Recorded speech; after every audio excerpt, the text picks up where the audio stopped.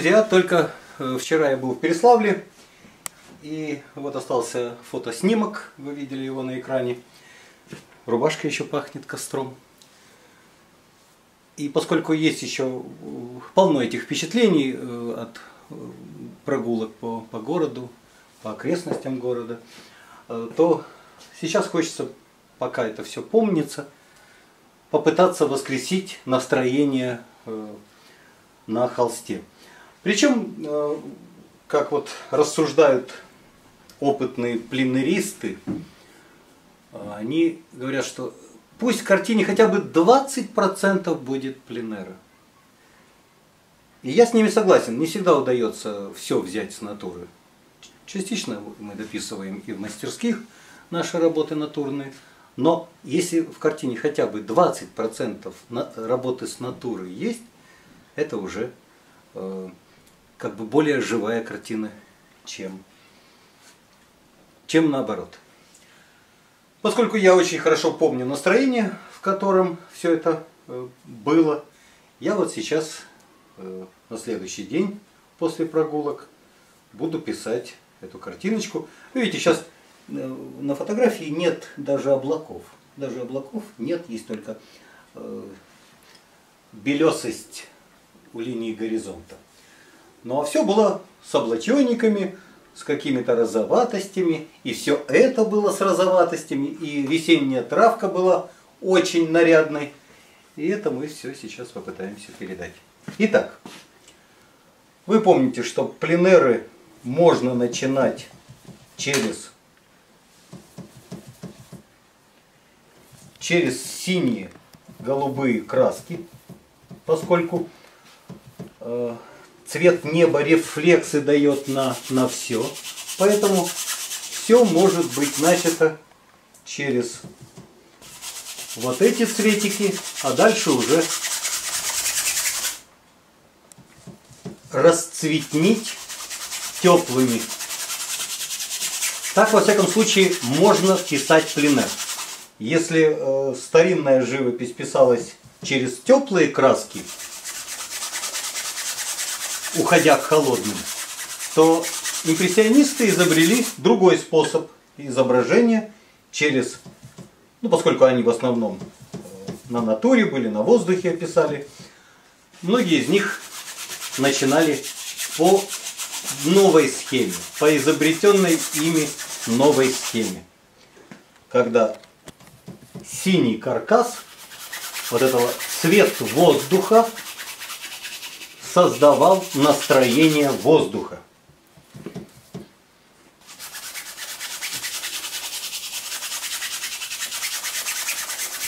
Полностью избавляемся от, голубо... от, от белого.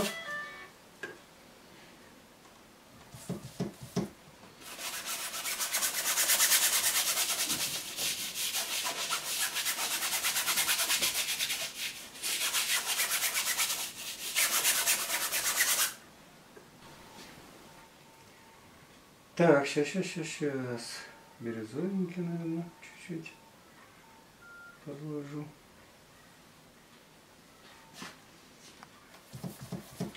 Так, теперь, когда мы э, заполнили, заполнили все пространство, в данном случае я взял голубую ФЦ, все пространство заполнили. Некоторая рябь штриха может остаться. Она создает некий ритм, некий ритм. Как правило, это некий косой ритм, как бы уходящий в перспективу, как шторочка. То есть здесь штришочки уклоняются туда к линии горизонта. То есть общая идея штриха может быть такой. Сверху чуть они вертикальнее, к низу все горизонтальнее. И вот такая рябь, рябь, рябь. К линии горизонта бирюзовенький добавим. Был он там чуть-чуть разбеленней, можно с желтеньким. К линии горизонта, которая будет где-то в середине.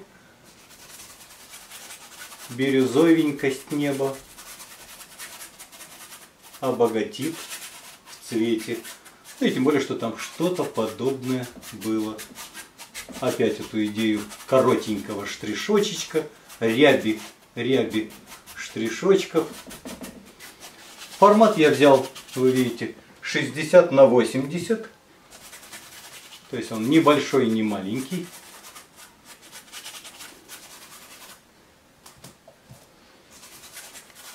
На самом деле очень удобный формат, в том смысле, что размер штриха позволяет развернуться, с другой стороны, не так долго э, укладывать краску, все-таки довольно быстро происходит набор. На, маленьком, э, на маленьких форматах немножко трудновато работать, поэтому не советую вам, если вы еще совсем новичок, браться за маленькие форматы. Наоборот, приучите себя поразмахивать крыльями. Дальше у нас с вами даль с монастырским комплексом.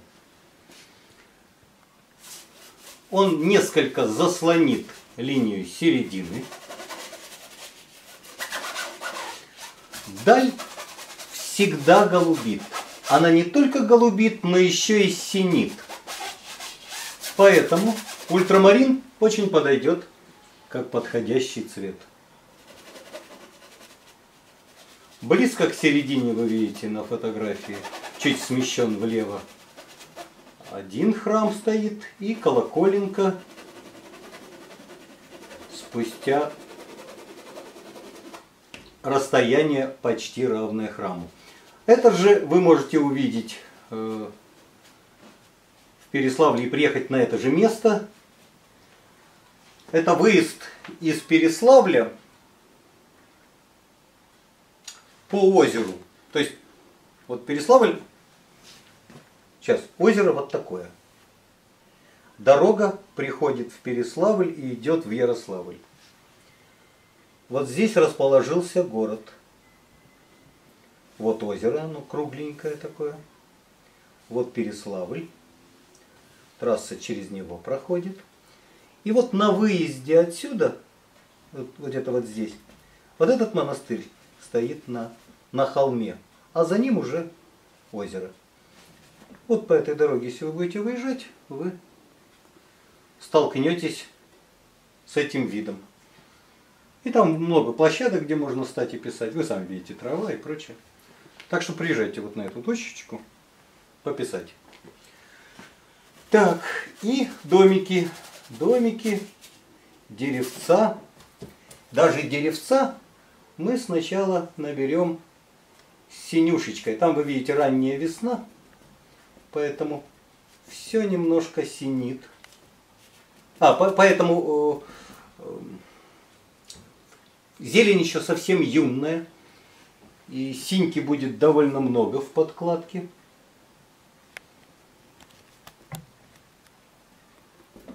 Вот, смотрите, кисть толкание, лежит, лежит абсолютно к холсту. И вот такое легкое толкание создает сразу ощущение множества. Так, без труда ощущение множества этого, этих деревцев рождается.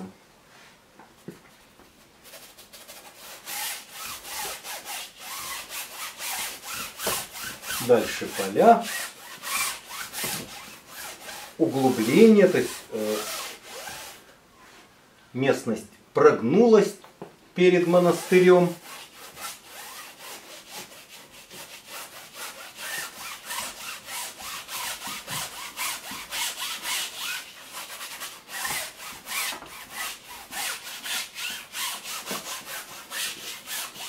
Синий каркас рисунка, он очень сильно выручает. Мало того, что если мы не точно что-то наберем, мы легко поправим, потому что достаточно будет просто сбрить краску и подбелить то место, которое э, получилось не точно. Поэтому практически как карандашный рисунок создаем рисунок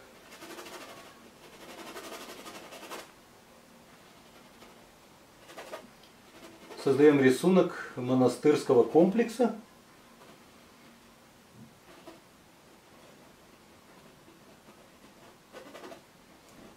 видите, окрасочку беру по соседству темненькую.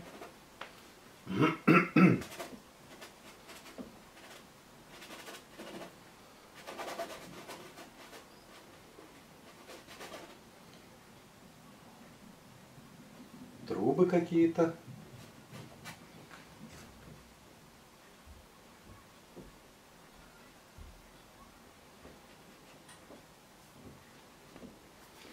Пальцем можно красочку подвигать. И вы видите, она готова передвинуться. Это только масло позволяет так с собой обходиться. Поэтому это явное преимущество масляной живописи. На колоколенке вот эти бойнички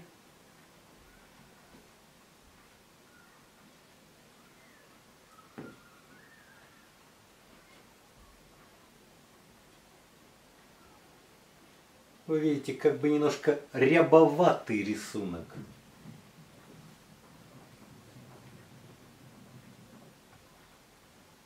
То есть я не тороплюсь э, рисовать очертания.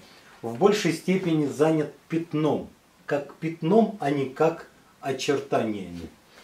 У вас, у новобранцев в живописи, есть э, большое желание тут же нарисовать линейный каркас.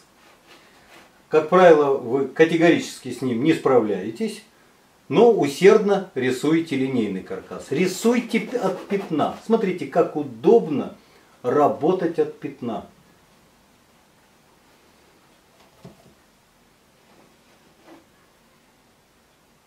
То есть рисуйте само, само темное пятнышко, а не линейный каркас этого пятнышка вы все равно не попадете, линейно не попадаете. Поэтому лучше сделайте от пятна больше шансов, что это будет точно, чем,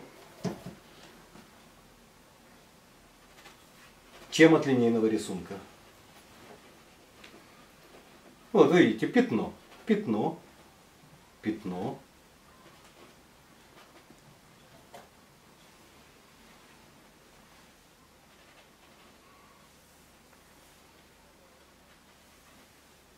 как, как будто э, некоторая пиксельность изображения появляется. То есть неточность изображения. Но по, по соразмерностям стараюсь быть максимально близким. А по, соразмер, по соразмерностям быть близким э, легче, когда ты работаешь от пятна. Это нормальный ход мысли для э, живописи. Это не, не то, что я тут изобрел от пятна. Вот. И для новичка он сподручнее. Хотя вы делаете обычно, стремитесь сделать наоборот.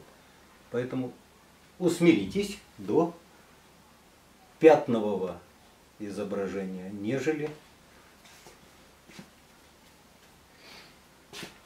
линейного. Так. Угу. Относительно, предметы относительно друг друга должны быть выстроены максимально точно. Соразмерность должна проявиться. То есть можете даже дома сделать предварительную подготовочку. То есть еще прежде чем поехал, вот вы, допустим, выбрали что вот поеду вот на это место. Сделайте, может быть, даже сначала вот эту синюю подкладку с более или менее точным рисунком. Потому что на пленере глаза разбегутся. Тут вы попали. А так вы успеете дома более или менее распределить рисунок. И прямо с сырой краской можно ехать и писать.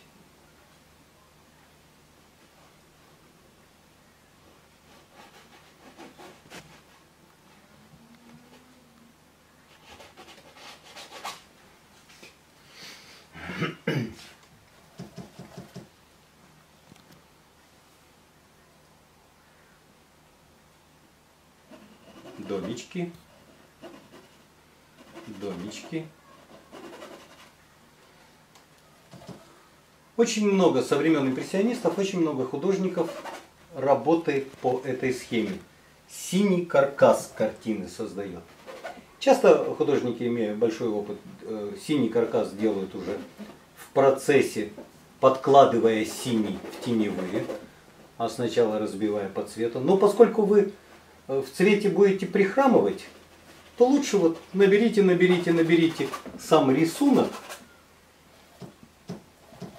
То есть степень темности у вас, у этого синего, должен быть такой же, как на том материале, с которого вы работаете. На натуре или... То есть степень темности такая же. Заборчички бесконечные.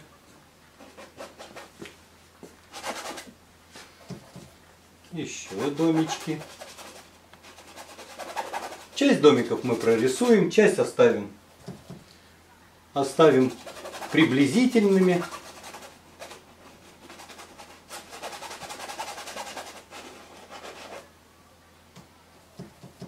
Очень удобно сейчас в этой каше синего делать какие-либо пометки, пометки. Поскольку в цвете мы никак сейчас не изощряемся, мы не можем пострадать. Рисунок не может пострадать.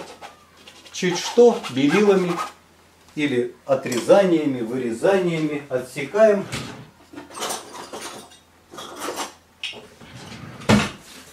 Отсекаем то, что требует уточнения, высветляем, утемняем. Вот, посмотрите. Раз и крыша. Раз и крыша.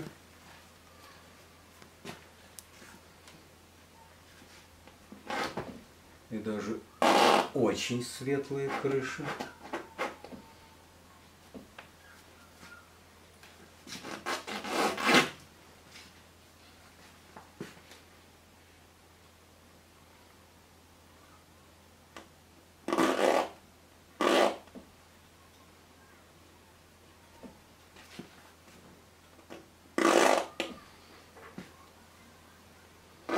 Посмотрите, какие удобства.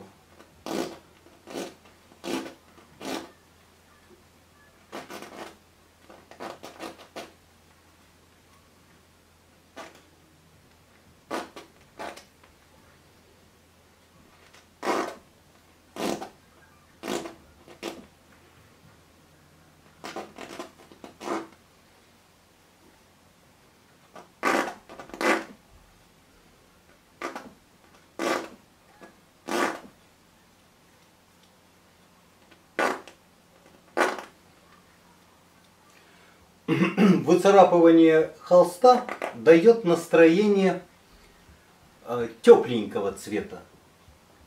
Потому что сам холст несколько тепл.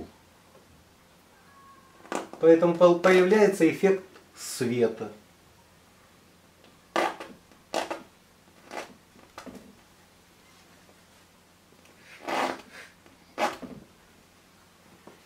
Чуть-чуть можно подрезать из краев уточняя, чуть-чуть уточняя архитектуру.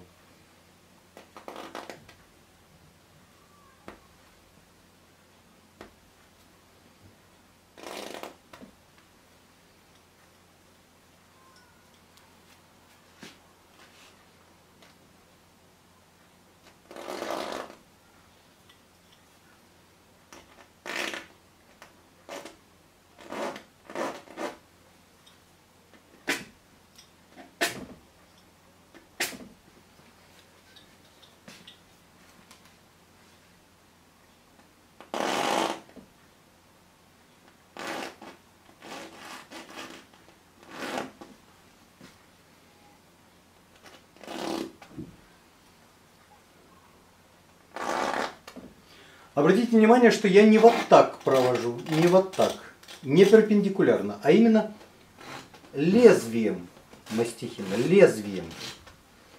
Делая иногда широкий захват, крыши, вот они, вот они, вот по такой схеме. Не жесткой царапкой, а мягкой царапкой. Вот жесткая царапка, вот она жесткая, вот она мягкая. Я делаю мягкой царапкой.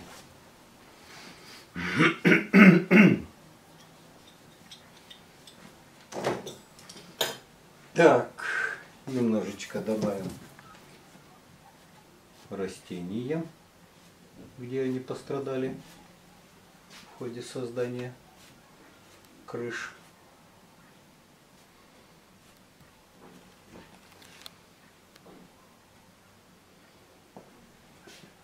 Так, полосатость это накидаем.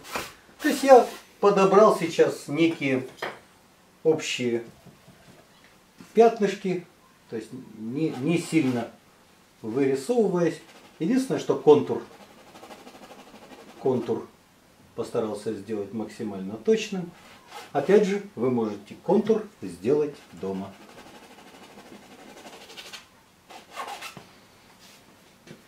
То есть у пленера, собственно, самое главное взять его цвет. Поэтому синий каркас, он никогда не помешает э, вашему дальнейшей работе на, на натуре. Если там сложный рисунок, сделайте этот синий каркасик с вот такими уточнениями. Вот. Он вам будет в помощь. Вот с такими уточнениями. Вот с такими.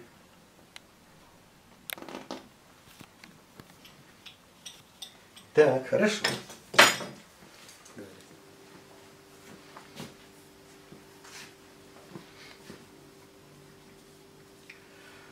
А, конечно, рука чешется зеленый поскорее кинуть, но, увы, не зеленый в продолжении, а красный.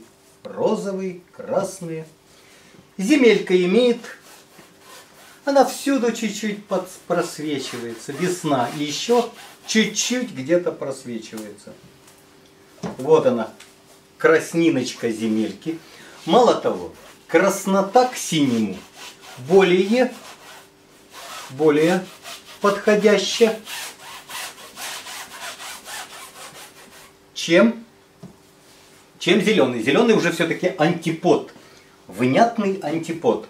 И мы пока еще подержимся в пределах синего и сиреневого.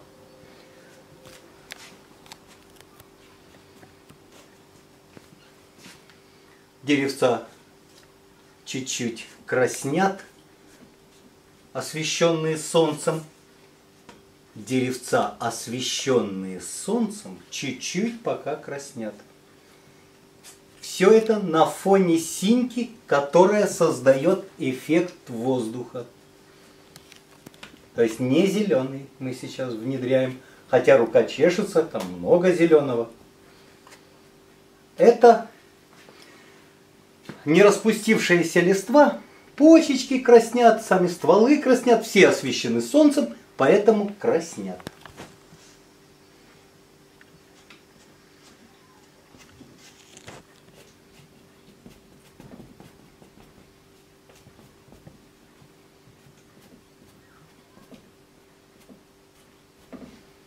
Так. Какие-то детали рисунка откровенно краснят. Сейчас я к красному добавил коричневизну в том числе.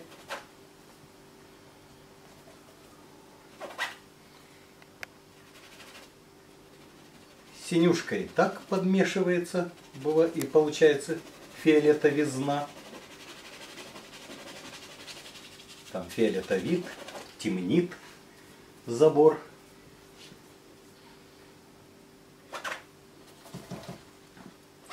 Какая-то трава краснит, откровенно краснит, заслоняя забор. Деревца заслоняют забор. Поросль чуть краснит.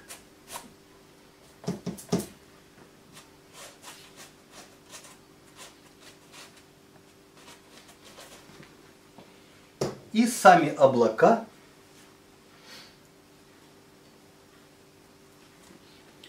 которые к линии горизонта выстраиваются в линейку, в линейку,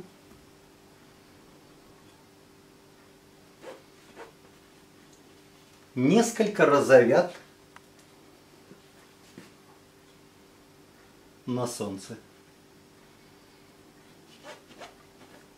Вы видите, как бы немножко нервная укладка краски. Не потому, что рука э, волнуется, я ее сознательно как бы поддрыгиваю ею, как бы со создаю этот эффект нервного. Вот они, облачечечки. Их в этот день было много. В одни моменты это были облака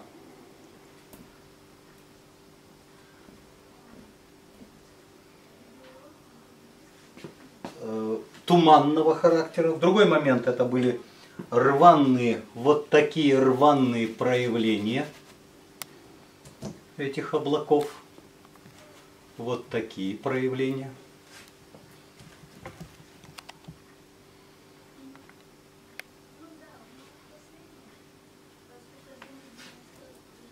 Обратите внимание, как кисть по отношению по отношению к холсту лежит, лежит и немножечко нервничает. Как бы такое волнительное, э, импрессионистическое звучание укладки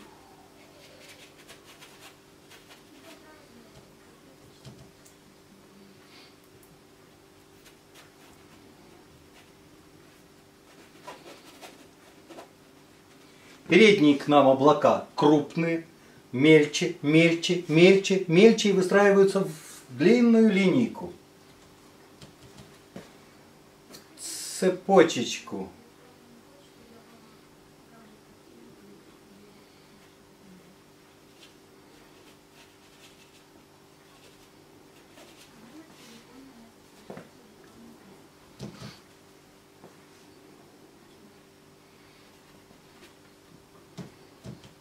Итак, розовый, розовый мотив. Опять же, вы все это э, можете с натуры подсмотреть, а можете сделать некоторую заготовку, в том числе и конфигурации облаков. А потом просто подсмотреть их цвет. Когда придете на пленерчичек, просто подсмотрите их цвет. А пока вот сделаете красивую конфигурацию облаков. Если у вас на фотоматериале, с которым вы работаете, какие-то характер облаков был виден, то вы можете смело так поступить. Я сейчас к розовому добавлю бирюзовенький. И будет как бы теневой цвет, цвет теневых мест на облаках. На облаках. На облаках. Так, охрочку тоже пишем.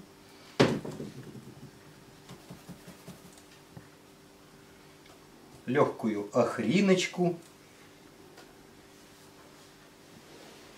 Легкую даже зелениночку. И вот появились освещенные проявления облаков и теневые. Теневые. И по макушечкам, по окружности, нимбам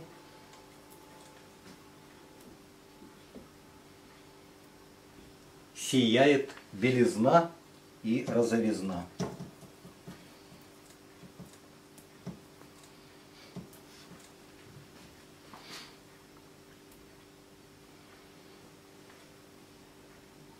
Вы видите, нимбиком, прямо нимбиком, нимбиком.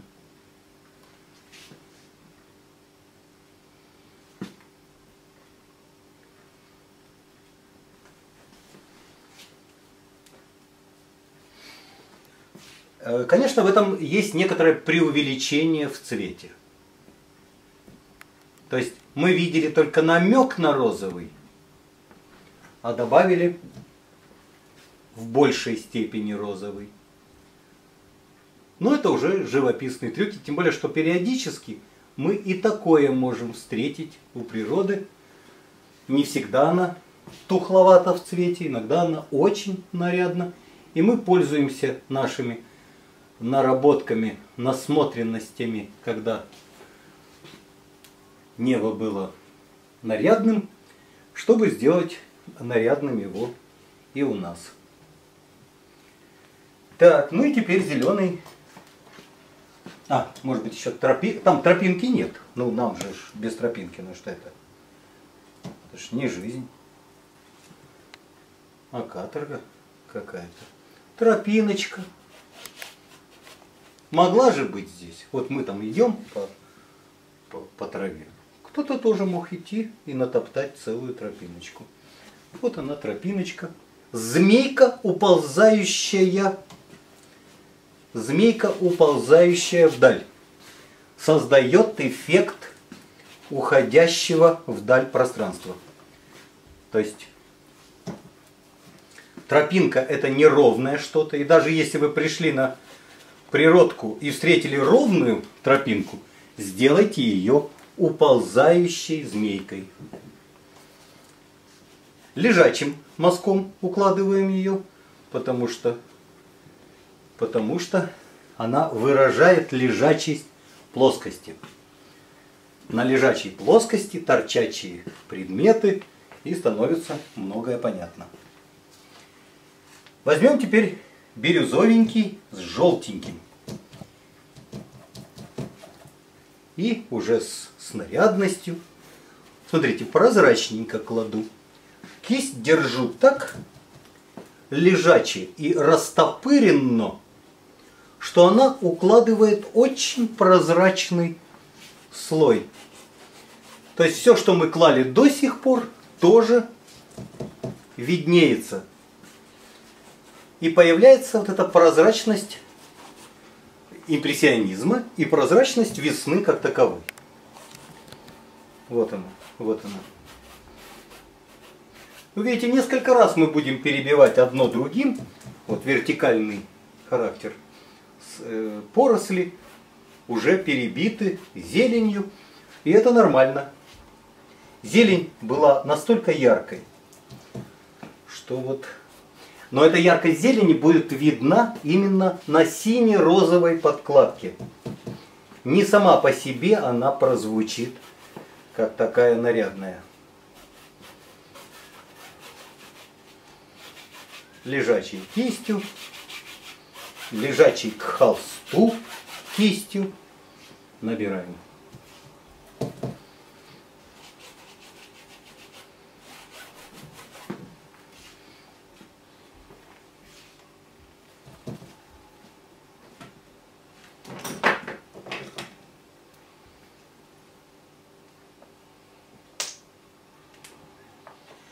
Э, надо сказать, что я сейчас больше не добавляю разбавителя. То есть краску кладу сухо, поэтому она вот так творожисто, прозрачно укладывается.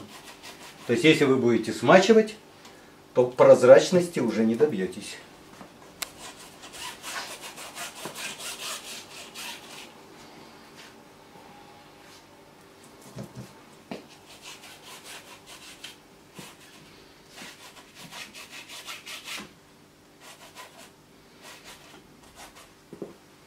Лежачий характер плоскости выразили.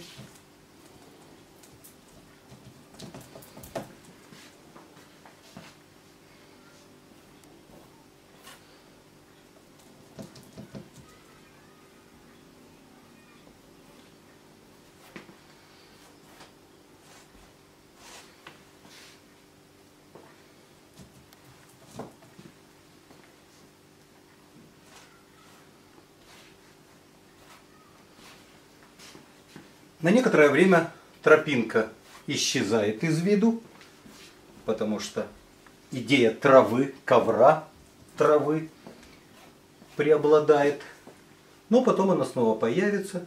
На переднем плане травинки можно вот такими подчеркиваниями. И обязательно идею холмистости. Маленькие холмики заслоняют один другого, заслоняют, заслоняют, заслоняют. Поэтому некоторый полосатый характер выявляем.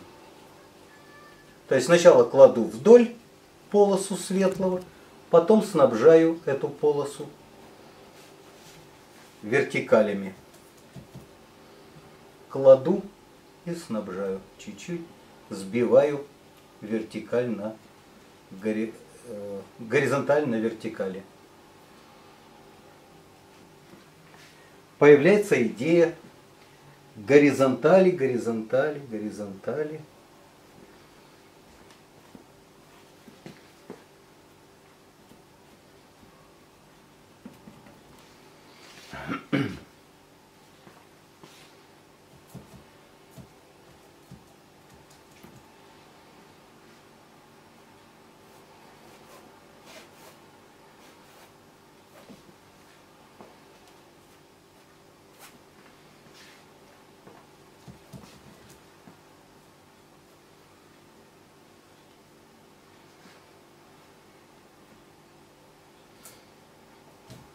Ну и, наконец, растительности деревцам тоже подбросим зеленцу сверху на этот синевато-розовый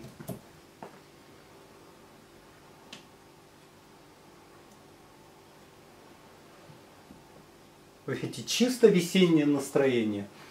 Э, зелень на розовом. Яркая, нарядная зелень на розовом.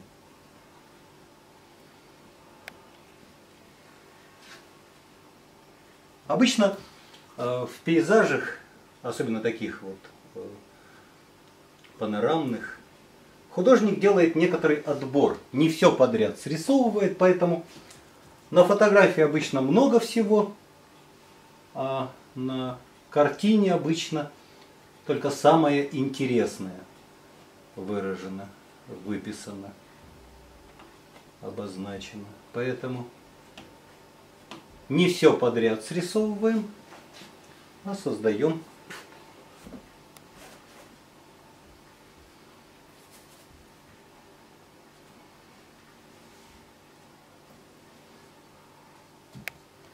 создаем отбор Выгодно, невыгодно, выгодно, невыгодно. Создаем отбор. Выгодно в смысле изобразить то или иное, тот или иной предмет или невыгодно.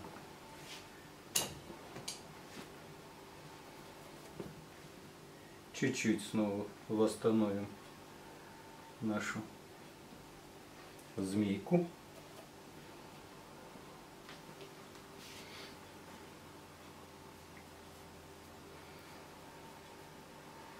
Вы видите, как мало уже синего осталось.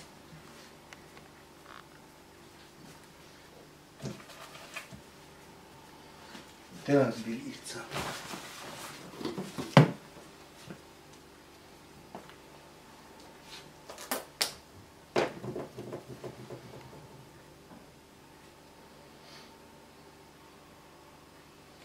С охрочкой, с розовиночкой набираю густо разбел вот этих освещенных мест архитектуры. С густотой на светах легче работать, то есть стоит прямо вот такую густоту нашвырять, внятно разделить на свет тень, а уже потом внутри густоты долепить долепить изображение.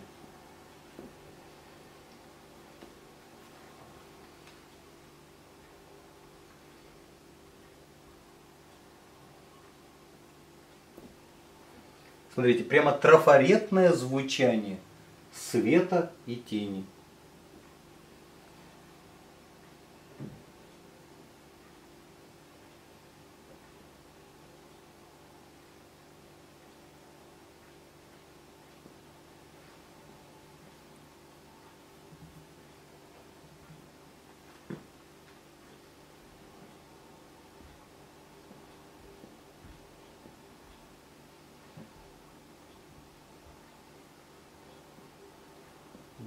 Густо.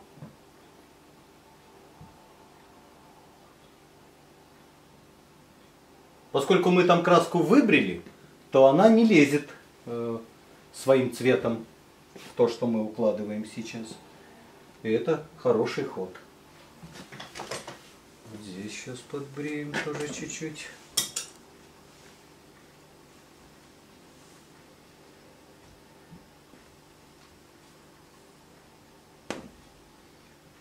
Палец помощник.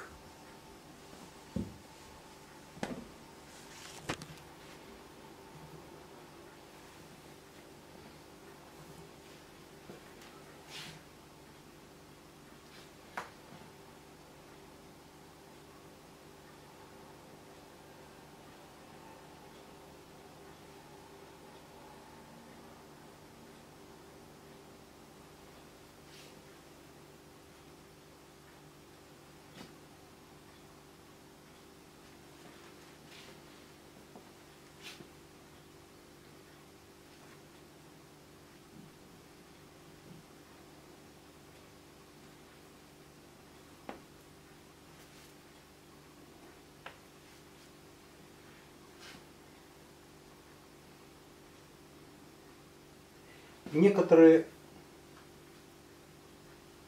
взбрызги света, такие буквально брызги, на домиках, обращенных к свету. Их тут немного, они в основном в профиль к нему выстроились. Но немножко вот этих белесых есть.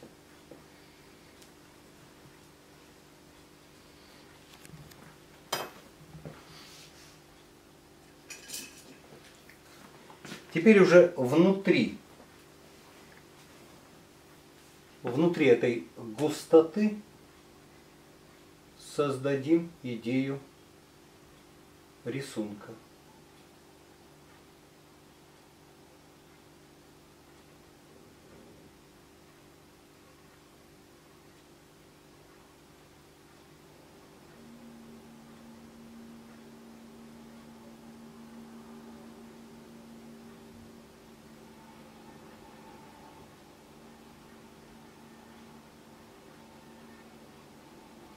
То есть принципиальная разница между светом и тенью есть, что очень важно. И уже э, в рамках теневой тенисто, в рамках световой там есть какие-то э, утемнения небольшие. Но все равно это уже в рамках световой. То есть принципиальную разницу света и тени желательно выразить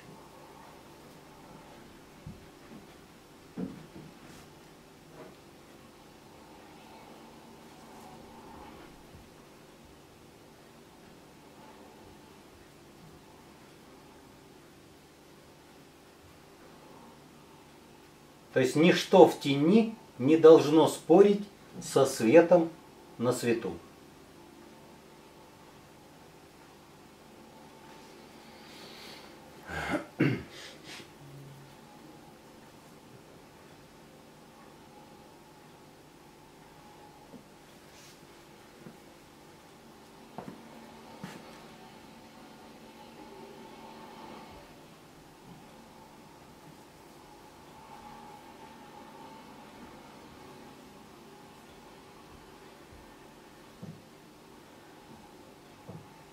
Рефлексы света вот этих освещенных плоскостей попадают на теневые места. При этом сохраняется тенистое проявление, тенистое, но при этом в нем появляется и теплота.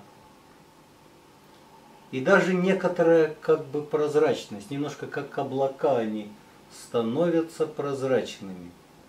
То есть синька там есть, то есть рефлексы неба на теневую сохраняются, но появляются и вот эти теплости, розовости, охристости в теневой архитектуры.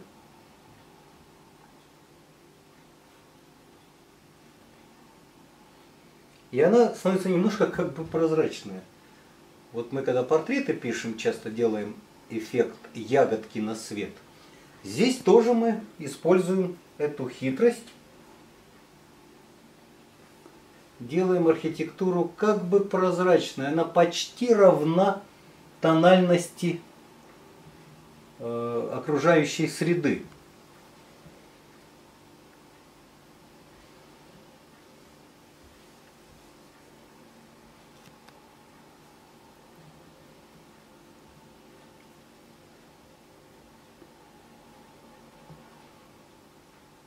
То есть с помощью вот этих розовых и охристых проявлений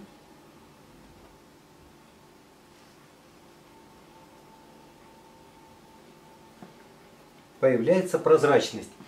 А, Причем а, проявления эти тонально почти равны небу.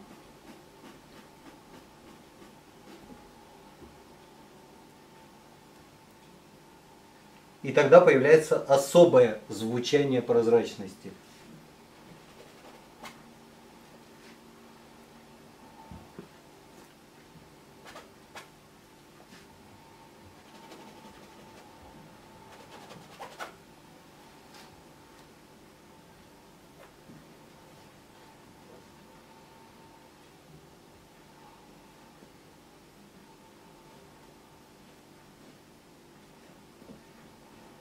То есть на фоточке у нас нет такого теплого цвета. Но я когда был там, я помню, что были они теплыми. И я их наполняю той теплотой. Но эта теплота входит в цвет тени. Вот что очень важно. Входит в цвет тени.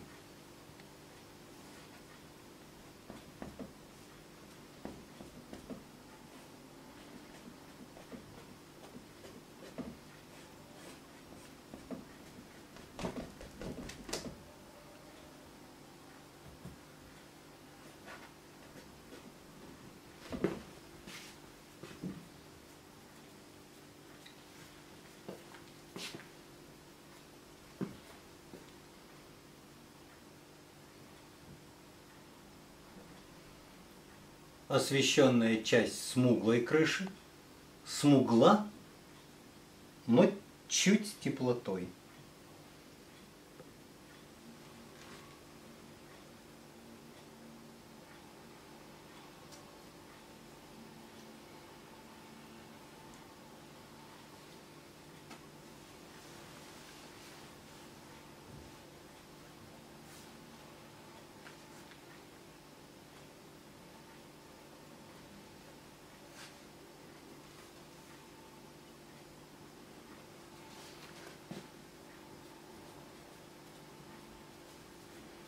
Так, отдохнем. Фух, не осталось.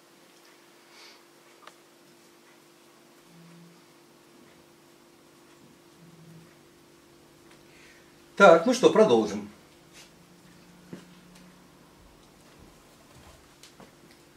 Множество там всяких архитектурных элементиков. Крыш каких-то.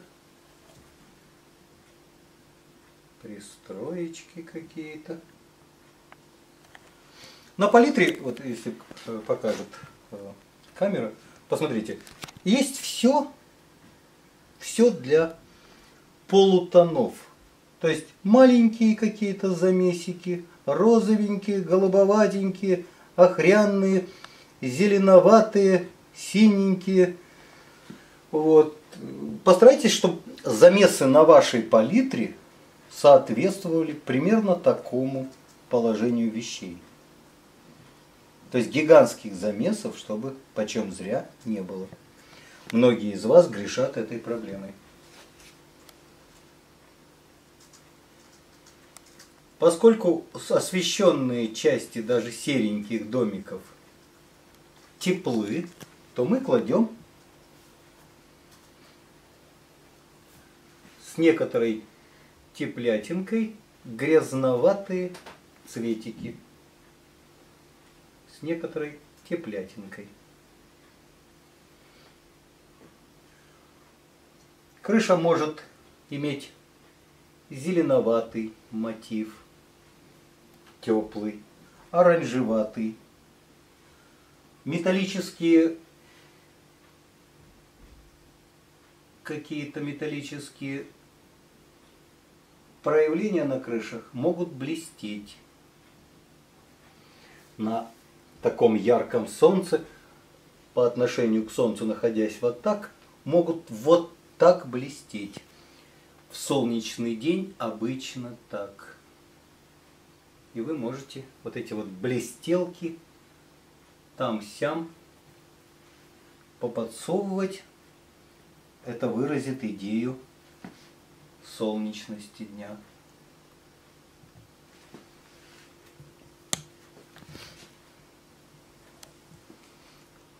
Розово-зеленые проявления выгодно звучат. То есть то чуть розовит, то чуть зеленит в рамках одного пятна.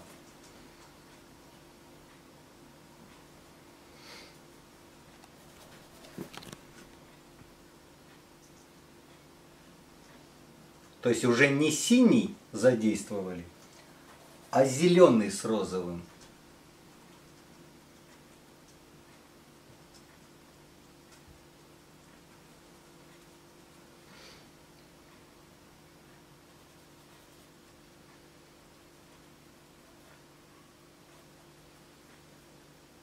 Чтобы синька оставила, сохранила свое звучание как, как феномен воздуха, как проявление солнечности дня и синести теней, мы синий оставляем для, для теневых мотивов.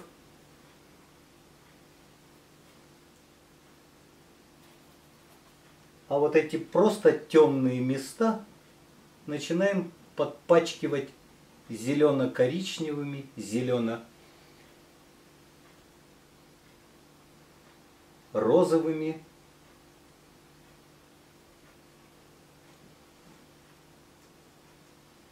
А синька все равно чуть-чуть там вылазит и создает вот эту атмосферу воздуха.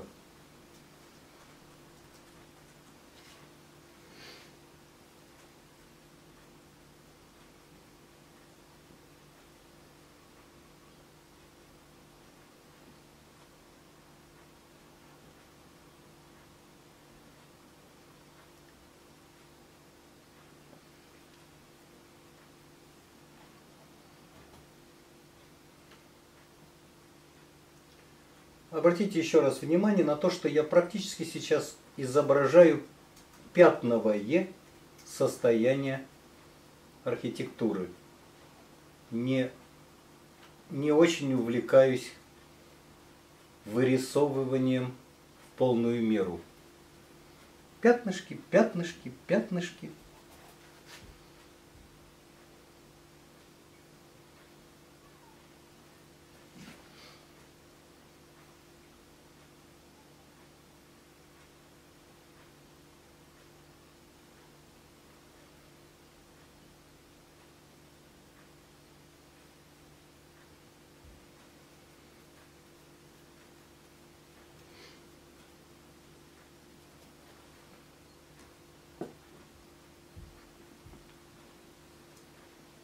Полосатость мазка выявляет конфигурацию крыши.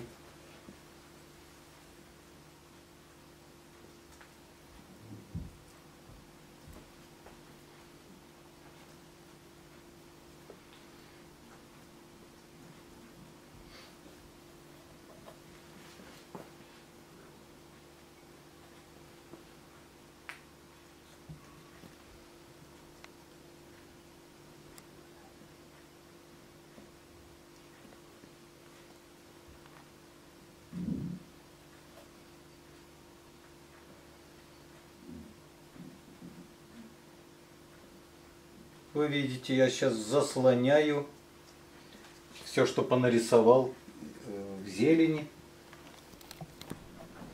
и не переживаю от этого.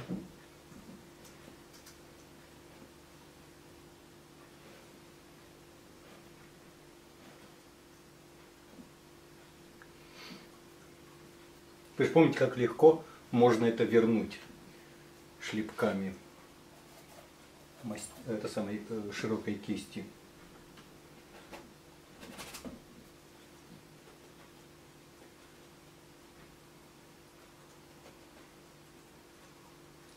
Накопошить, накопошить содержание.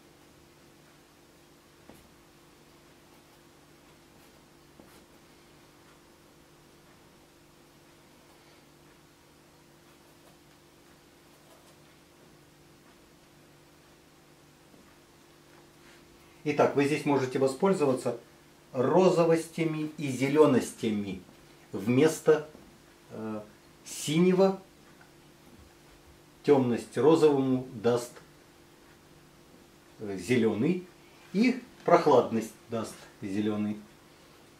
И это обогатит содержанием. Синюшка все равно там чуть-чуть помигивает, а зеленушка перебивает, зеленушка с красным перебивает это помигивание.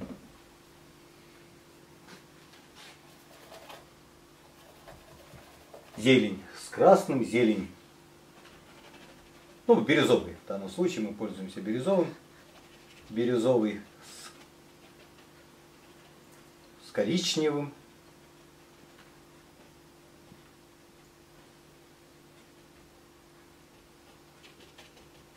В данном случае бирюзовый с коричневым, чуть в разбеле.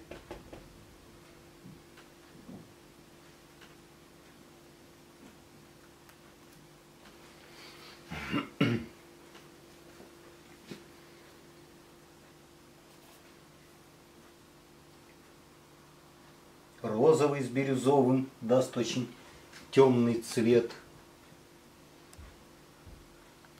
И достаточно холодный, то есть с эффектом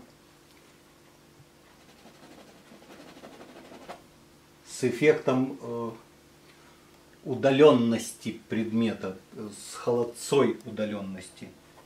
Ну и синька тоже чуть-чуть может подыгрывать, чтобы создать идею толщины воздуха. Идея толщины воздуха – это идея сизости воздуха, разбеленности воздуха, седости цвета.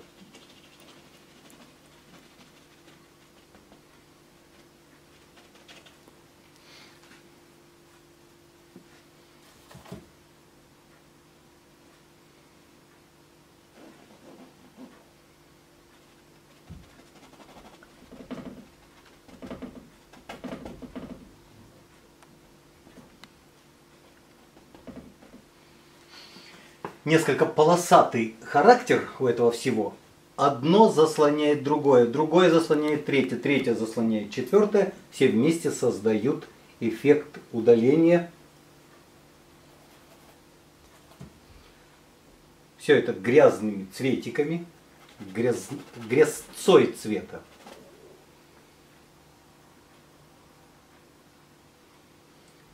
Вот, скажем, в этом месте вы видите, забор заслонил дом. Дом заслонил дерево. Дерево – дом, дом – архитектуру монастыря.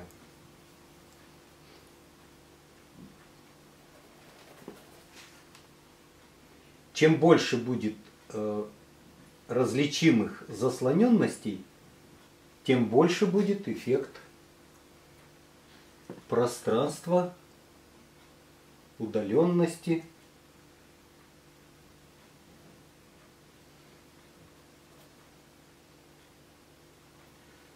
Кисть я постоянно э, вытираю в тряпку перед тем, как что-либо новое взять на холст.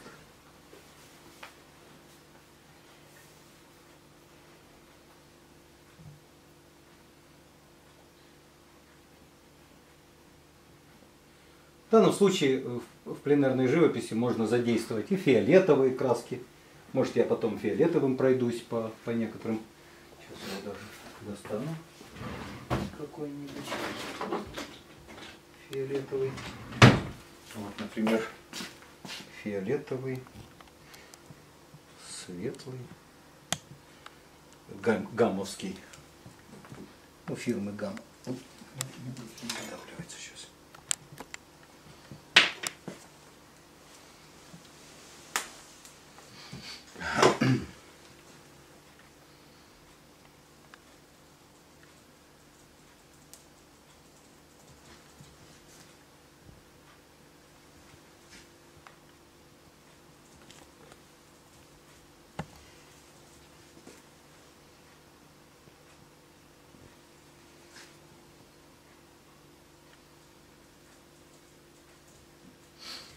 То есть в пленере можно чистые цветики задействовать уже как финишное проявление укладки. То есть подцветнить где-то чистыми цветиками. И зеленый можно какой-нибудь нарядный задействовать.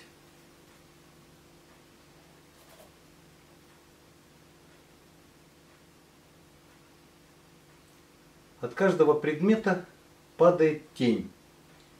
Поэтому, если мы рисуем трубы на домах, то обязательно вместе с падающей тенью туда, туда. Свет оттуда, тень туда.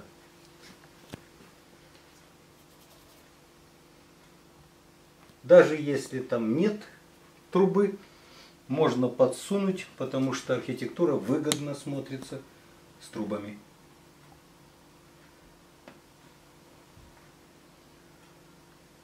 Плюс свет-тень на трубе, тоже выгодная штука, рассказывает о содержании света.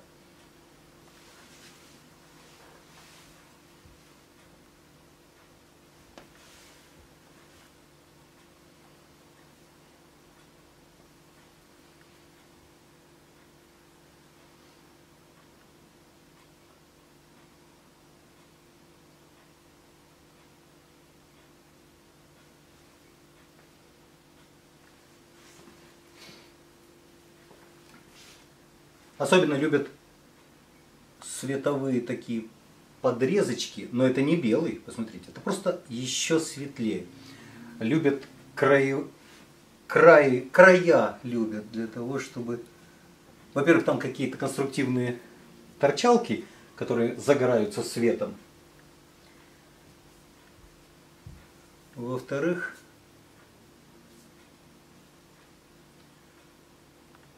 эти торчалки обращены под другим углом, и, как правило, они, ну, а находясь под другим углом, они как раз и отражают свет. То есть мы как эффект зеркальца имеем их.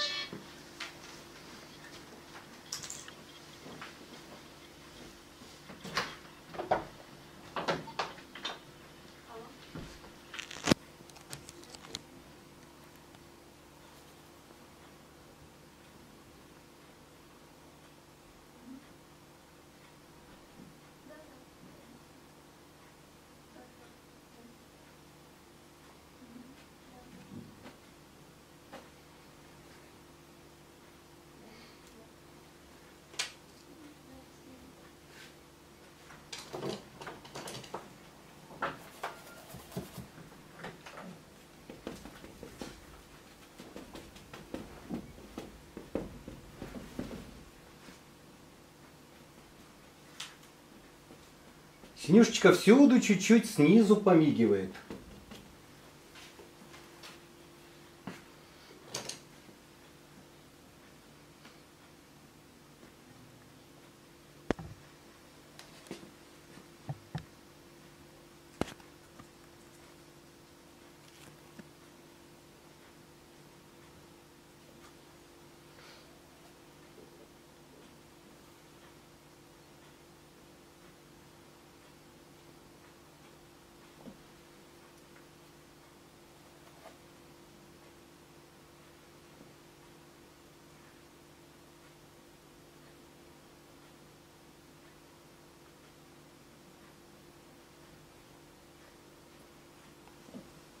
Вы видите, я несколько натемнил к низу.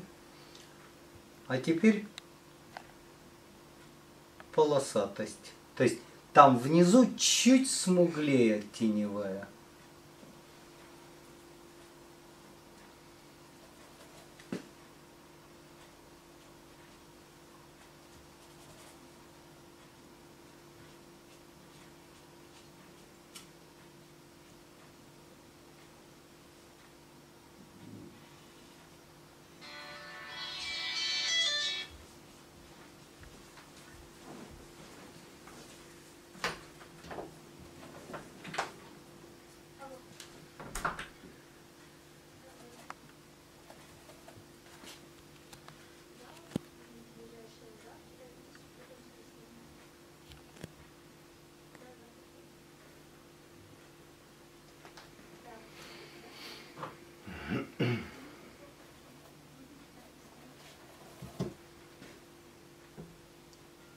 Рельеф местности немножко обозначим.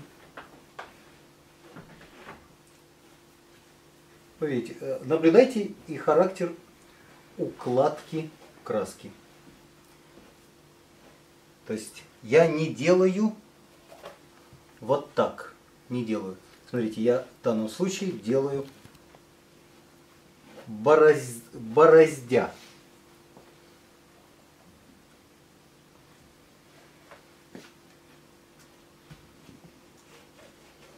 Вот легкий уклон, уклон показал.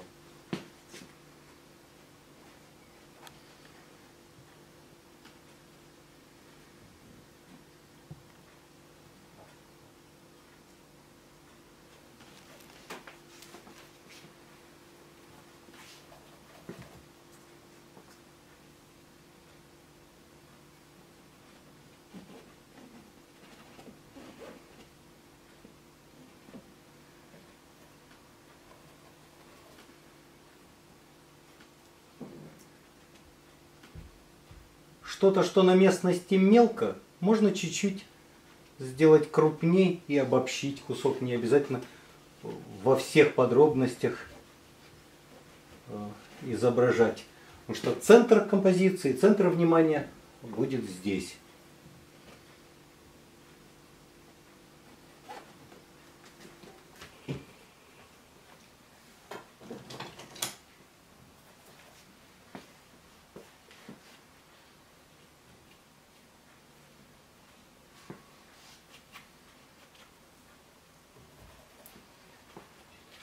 Углу.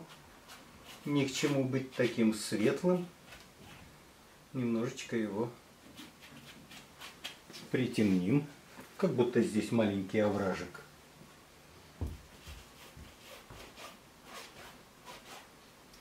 То есть притемненность углов собирает картину как некая рамочка.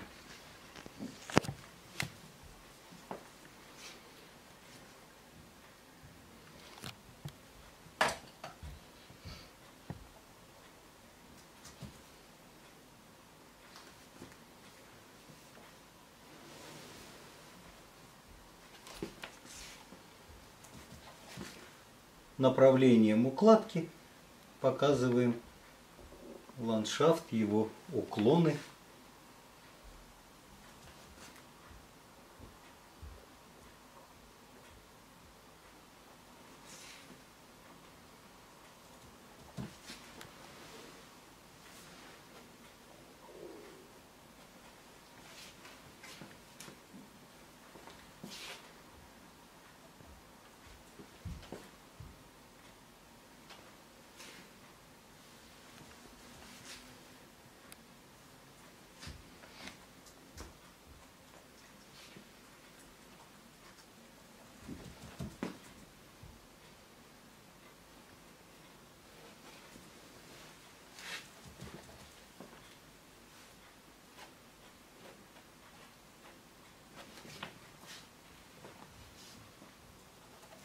Видите, кисть лежит к холсту, лежит.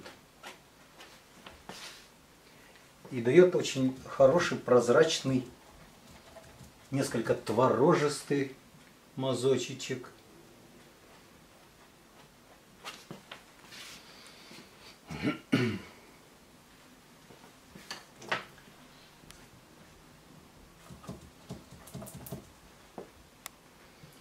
Вот сейчас мы позаслоняем с вами деревца,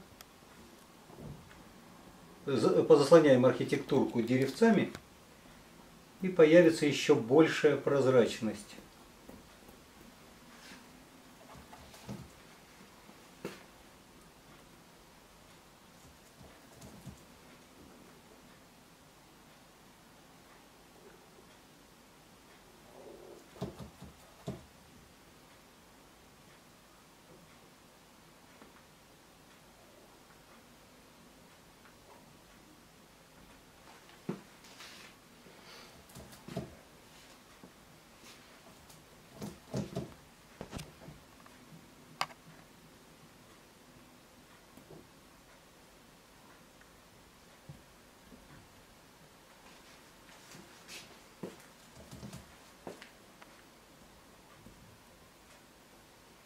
Лежачая кисть к холсту и вот такое под, подбитие.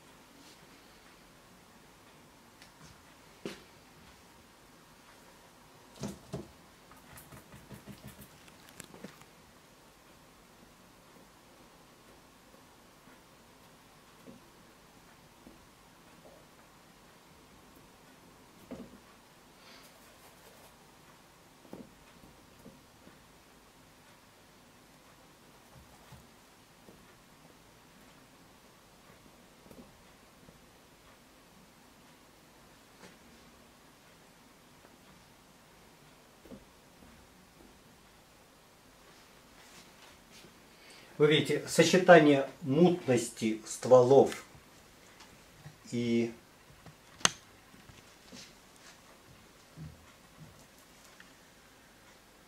ой, не стволов, мутности растительности и э, прочерченности архитектуры дает некоторый контраст между изображаемыми предметами сочетание мутного и контрастного всегда красиво.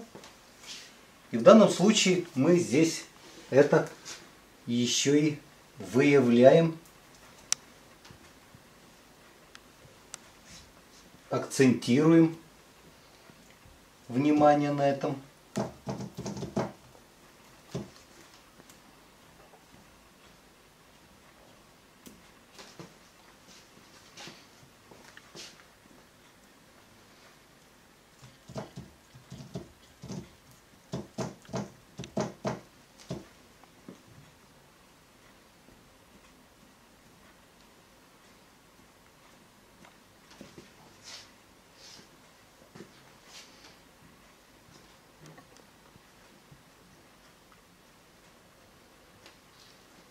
Розовато-фиолетоватые стволики у зелени, у этих порослей.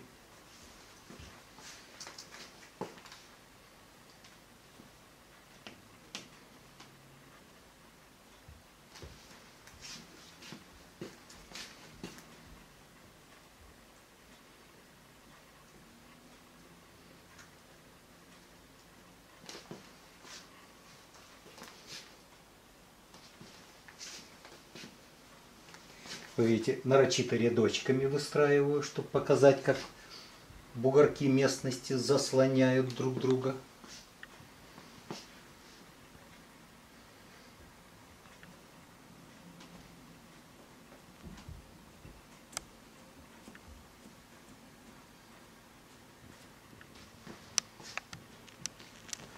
Кладу и, и там, где их нет, чтобы выявить, выявить этот бугристый характер ухода. Чуть-чуть для настроения добавлю стволиков деревьям. Возьму ультрамарин. Нет, возьму бирюзовый и розовый. Вместе они будут холодновато звучать. Вот, кстати, можно посмотреть э, сейчас на палитре. Вот бирюзовый с розовым, а вот ультрамарин. По холодности они похожи. Но при этом это не синька, которая у нас и так присутствует э, немало. Вытягивательно. Заостряю кисть. Беру на кисть малую меру вещества. Заостряю, беру малую меру. И этой малой мерой начинаю вытягивать, вытягивать, ставя кисть часто ребром, чтобы тоненькие выявить. Вот это надо потренировать, потренировать. Потому что он очень пригождающийся способ укладки. Потренировать дома, прежде чем создать условия на холсте, чтобы потренировать именно этот звук. Но не на сухом холсте, а именно вот на таком же э, содержательном. То есть напачкать краски и поучить, ну какой-нибудь, какой-нибудь краски напачкать и повытягивать, поучиться вытягивать вот эти, вот эти деревца. Вот они, вот они. Вот такие.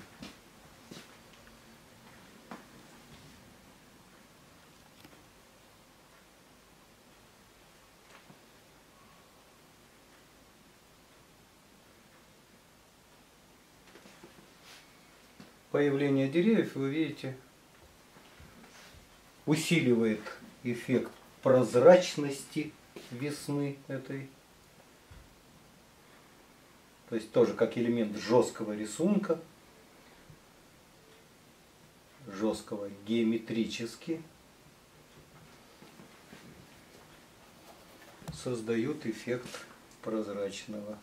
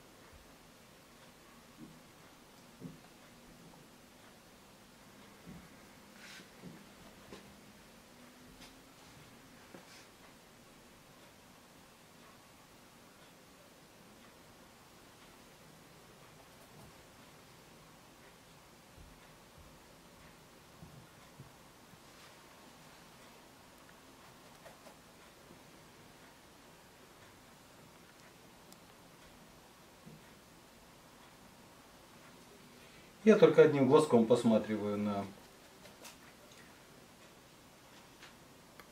конструкцию этих деревьев. Так, приблизительно, потому что вырисовывать в подробностях не обязательно. Главное, чтобы их характер соответствовал тому, что на картинке.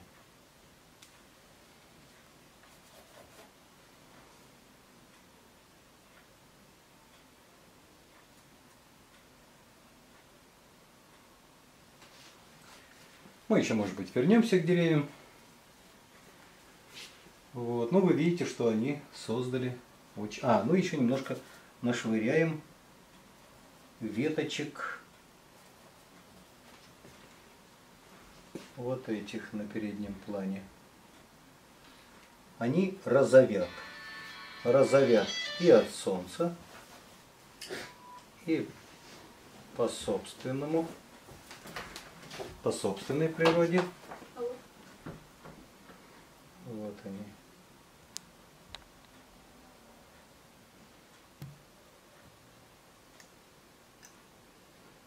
Вот так вот.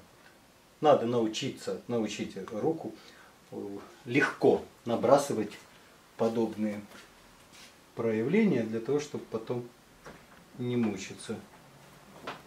А это очень простая задача, ее надо просто освоить. У меня очень много из вас, многие из вас освоили ее. Причем иногда приходит человек на урок, и видно, что он вытренировал эту задачу. И правильно, конечно, сделал.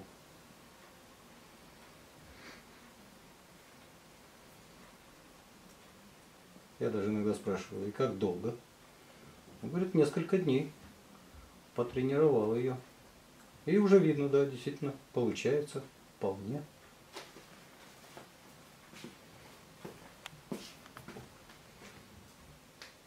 Чуть на разных уровнях они.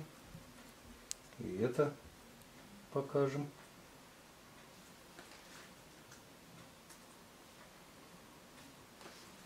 Тоже они создают, видите, создают прозрачность всему. И как бы содержательность. Вроде как мы прямо столько утруждались. Причем в свежую краску это очень э, вкусно входит старайтесь это успеть сделать, пока краска свежая. Потому что по сухому укладывать э, подобные веточки очень тяжело. И деревца будет тяжеловато. А по сырой краске, создавая борозду, борозду, все очень быстро и легко складывается.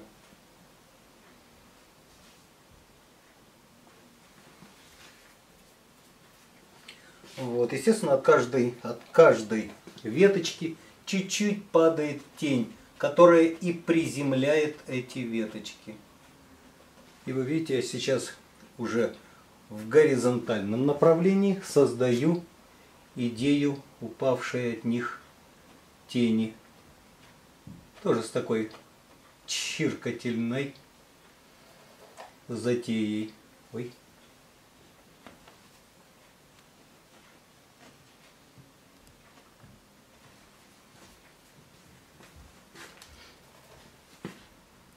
чиркательной затеи намек на упавшие тени от них, которые их приземляют.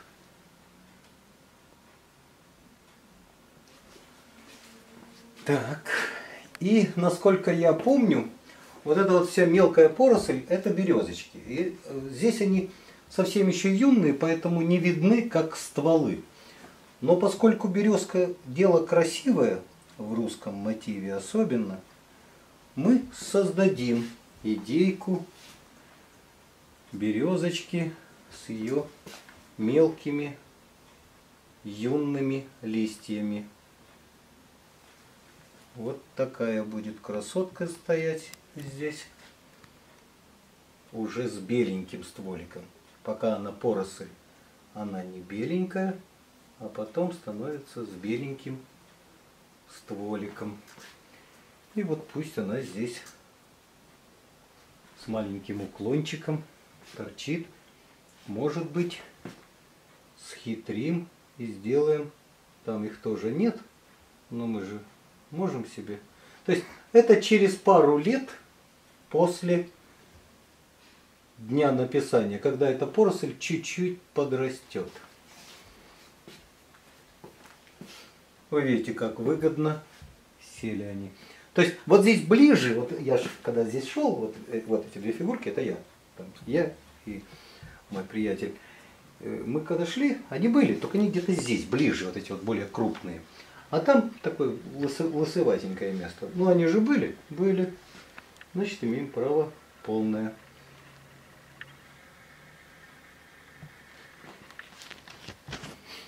Вот. Ну и березки это плюс черниночки. Плюс тенечка. плюс легенькие черниночки.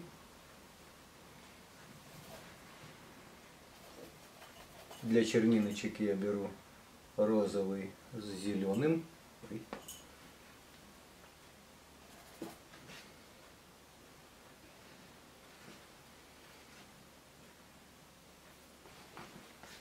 Видите, тенечка от нее упала. И прям такой поэтичный кусочек. Чуть-чуть черниночек низом.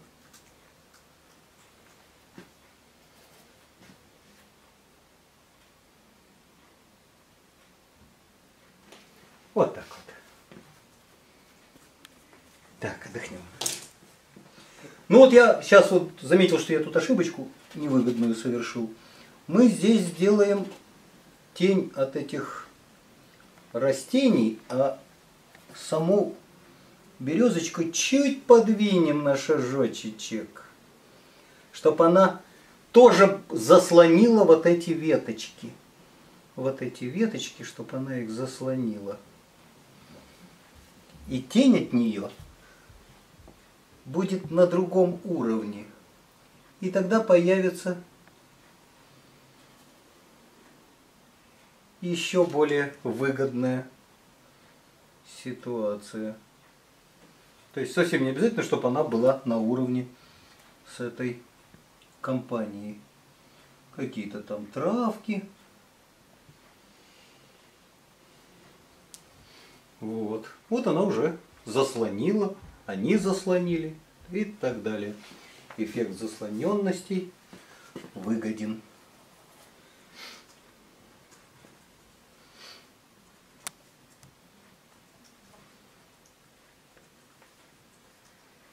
Какие-то там построечки маленькие на крышах этих построечек. Даже не постройки, а сыроюги какие-то. Вообще не пойми что. Ну, они дополнят, обогатят, дополнят.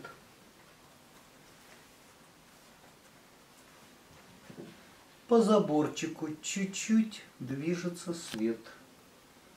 Лежит на верхней кромке забора светичек тоже выявляет идею света и тени. Чуть забор пошел туда, вдаль. Во всяком случае, там это не видно, но это же выгодно. Значит, сделаем.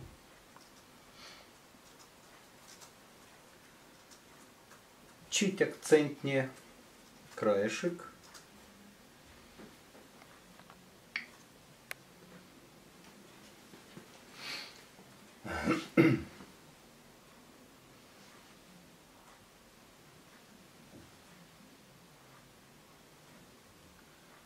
Акцентнее краешки.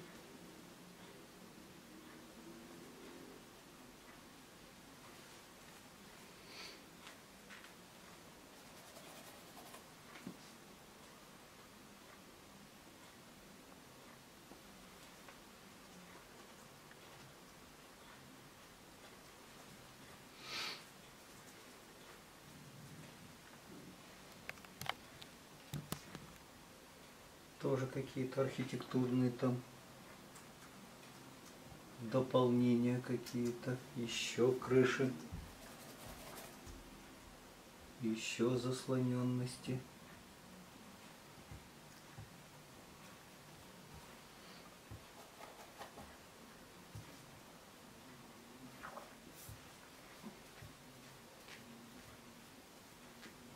И всюду помигивает синька в этих теневых, чуть везде помигивает, создавая как бы залегла тень, всюду залегла тень.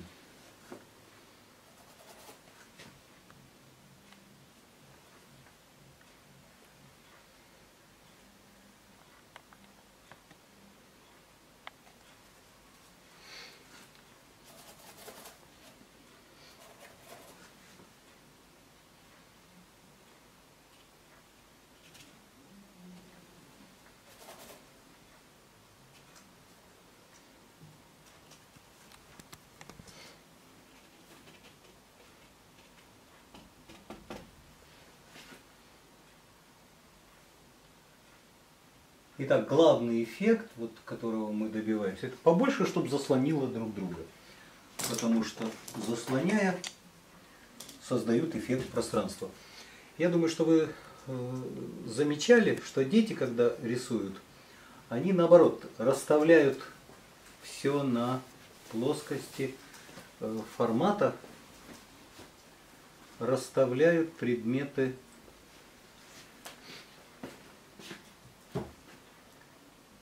не заслонительно. И мы говорим, надо же детский рисунок. Во многом он детский именно по этой причине. То есть, если вы хотите нарисовать детский рисунок, расставьте предметы по холсту не заслонительно. И будет настроение детского рисунка.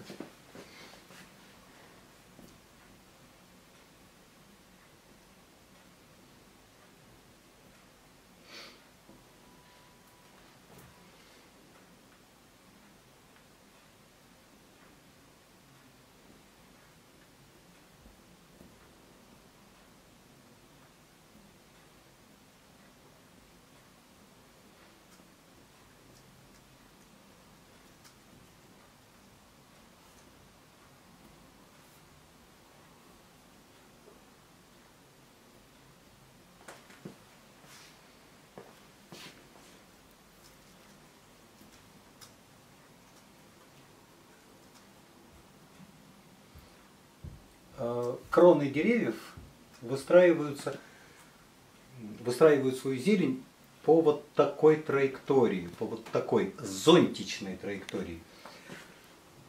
Обратите внимание, когда будете теперь смотреть на э, кроны, что именно зонтичный характер укладки. То есть не хаос, а именно зонтичный характер.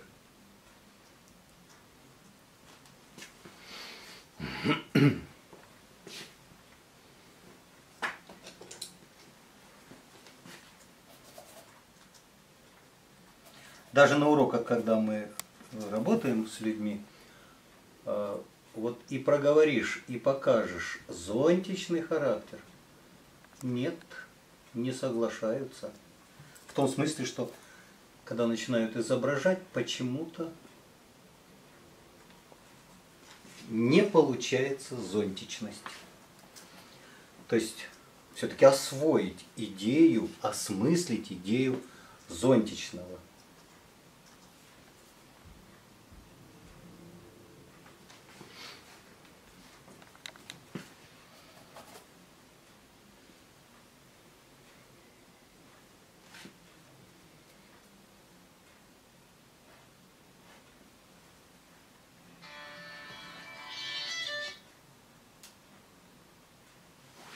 очередной какой-то заборчик.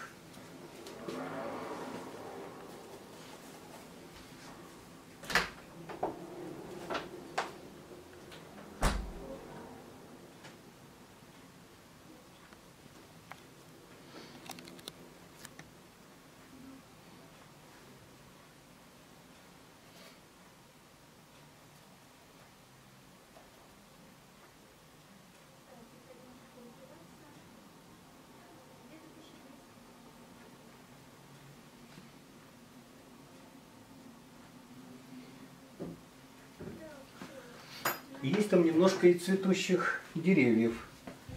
Сейчас мы их с розовизной, сиреневизной чуть-чуть подбросим. Цветущие деревья.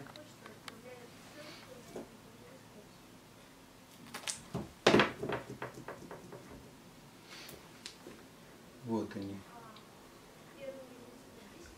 Они там немножечко зеленят, эта белизна. Но нам это не выгодно. Нам выгодно, чтобы она на фоне зелени прочиталась. Для этого мы, у нас так там всюду зеленый, для этого мы берем розоватости, фиолетоватости, которые будут более читабельны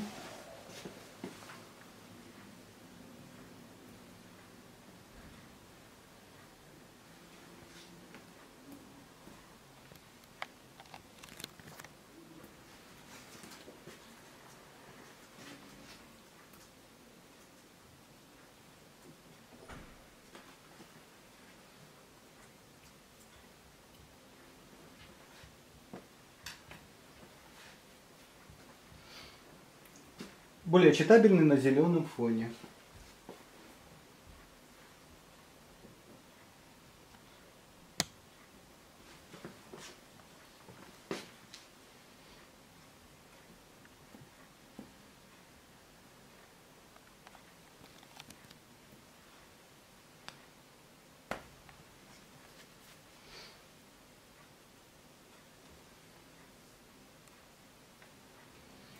Кисть стараемся так взять, чтобы она красивый следочек оставляла. Вы видите, у меня сейчас не, уда не, до не удался красивый следочек. Вот, так что старайтесь подобрать, чтобы следочек был красивым.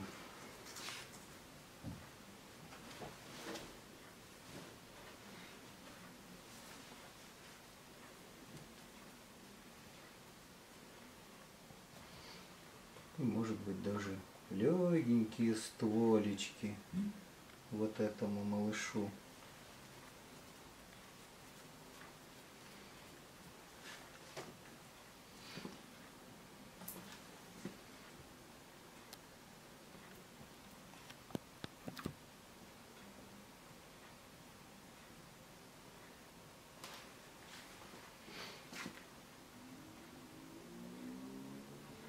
Смотрите, зонтичный характер.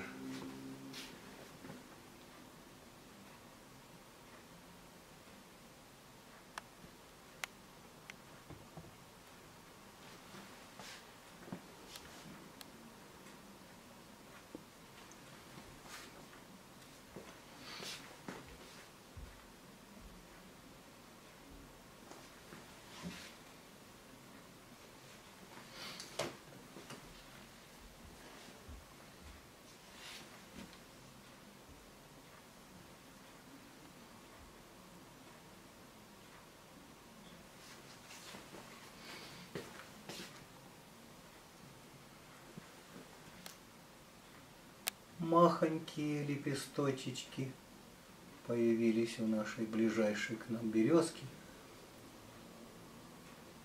Белесые зеленоватости.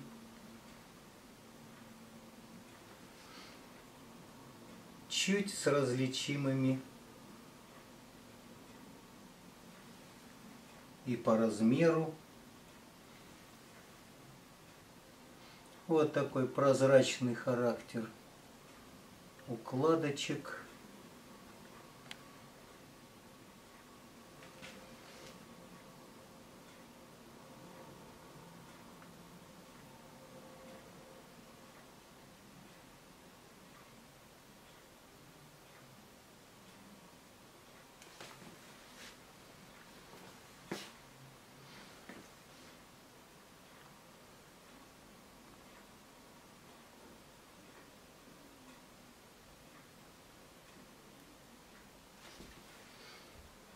Пустяк, а видите, на этом кусочке картины.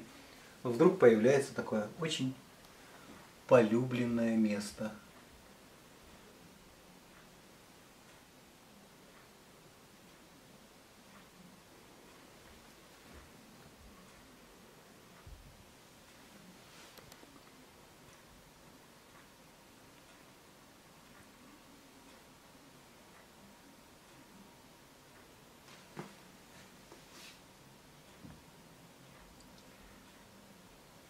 Обратите внимание, я не очень следую э, стволам. То есть мне нужно композицию этих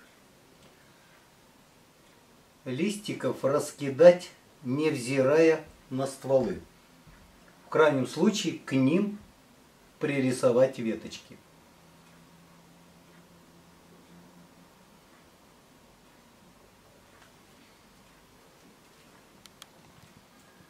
Крайнем случае к ним пририсуем намеки на веточки.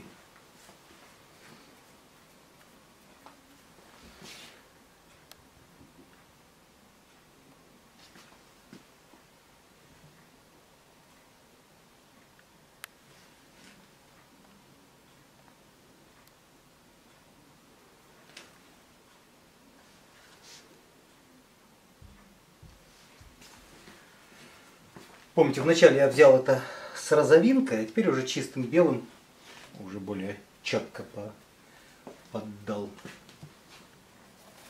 Немножко позатаптываем синичку, где ее слишком много. Чуть позатаптываем. Но она и так просвечивается, по чуть-чуть просвечивается.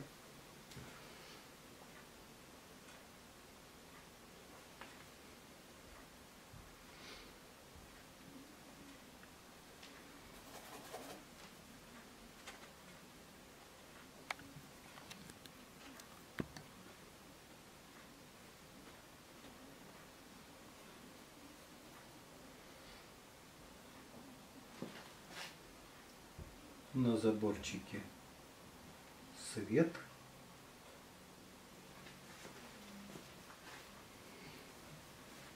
Его там не видно. Но мы же знаем, что он там есть. А толщина у забора знаем, что есть. Поэтому кладем с чистой совестью. Ну и, наконец, снова можно вернуться к архитектуре храмов. Так, сейчас, сейчас, еще немножечко. Пусть здесь тоже кто-то цветет и заслоняет стволы.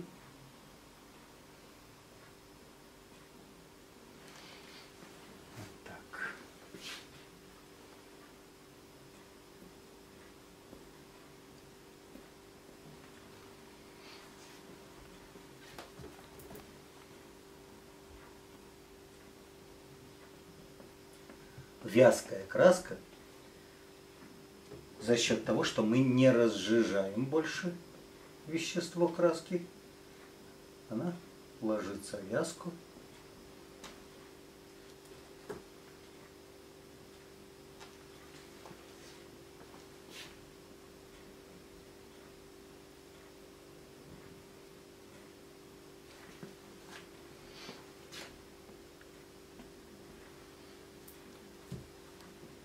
Чуть почечки желтят в этой поросли.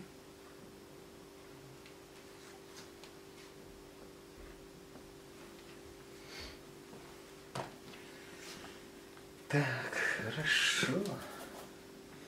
Честно говоря, вот очень похоже сейчас на то состояние, с которым я вчера столкнулся в Переславле. Все-таки память позволяет воскресить такие вещи при наличии фотографии.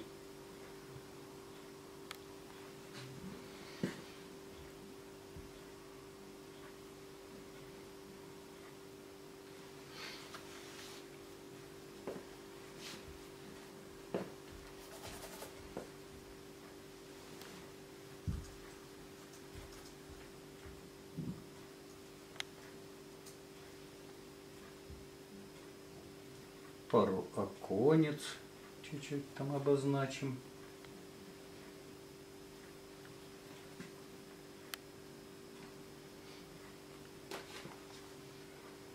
Чуть заслоним обозначенное.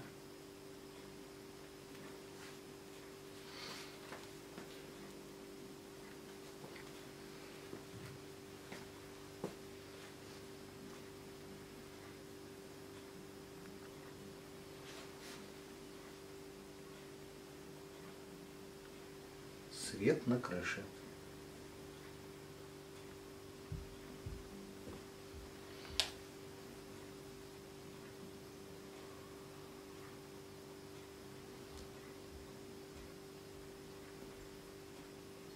Он там никакого цвета. Вот этого никакого цвета мы добиваемся чуть разбелом голубого, чуть разбелом розового. Оба вместе дали цвет никакой.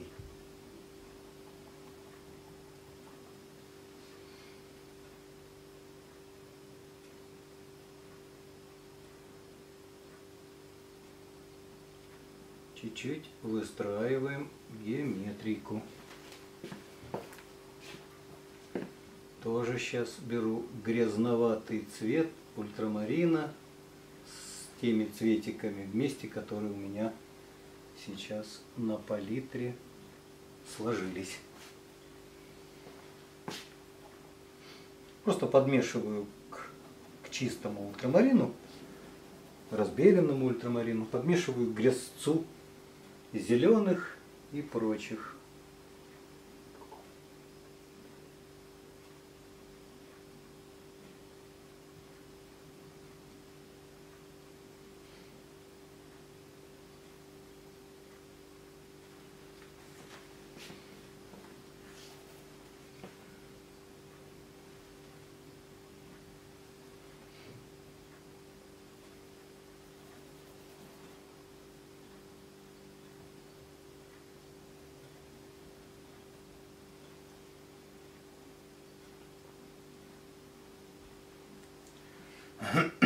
Разбил бирюзы и и розового даст вот этот серебристый цвет серебристый цвет куполов.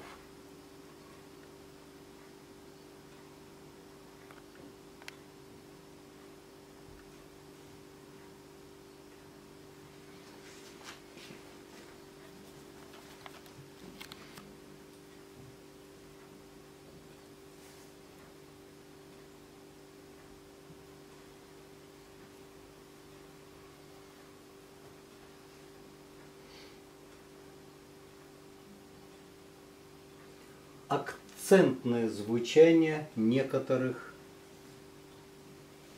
некоторых линий. То есть при том, что все как бы в мареве, но чуть-чуть акцентных звучаний. Причем для того, чтобы рисовать вот эти подробности, можно взять маленький холст – Угу. Маленький холстичек. Подставить его. Вот, например, сюда. И удобно, облокачиваясь, вырисовывать. Потому что на весу руку держать, конечно, будет проблемно.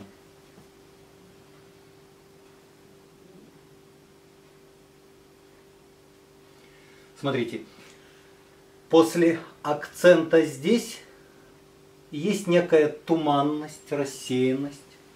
И снова акцент, но уже наверху. То есть начинаем акцентное рисование.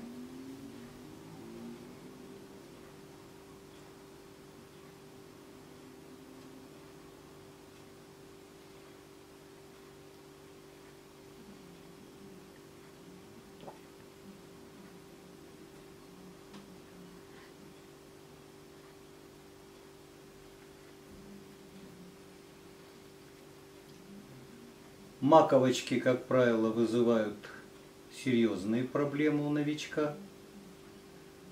То есть их форма луковичная. Поэтому будьте готовы, что будет больно. Но в конце концов, дома потом деликатненько, если вы уже на пленере, дома потом деликатненько пообрисуете поуточните.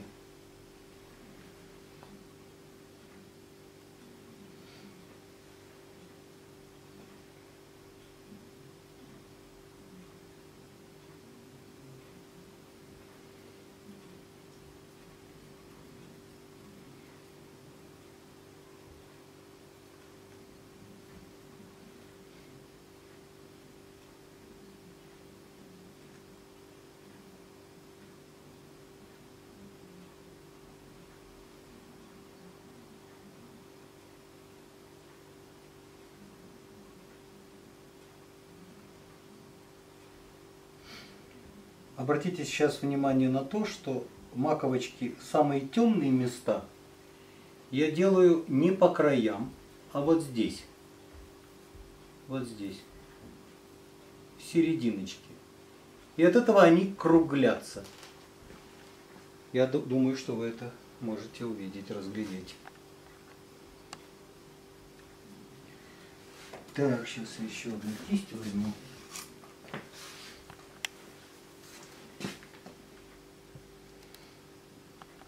Вы, наверное, помните, что я часто произношу такую фразу, как «свет из-под теневой».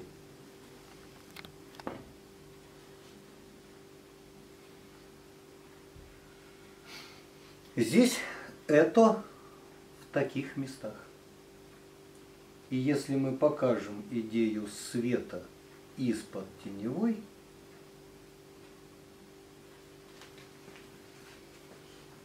то эффект пространства в этом месте будет очень выразительный.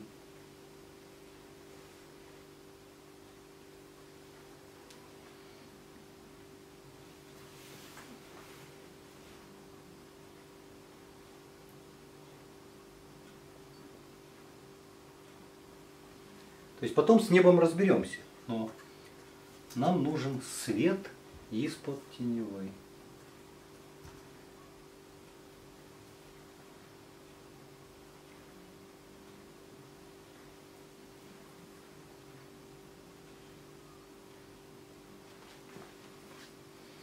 Появляется как некая марево сейчас вокруг храма с теневой стороны.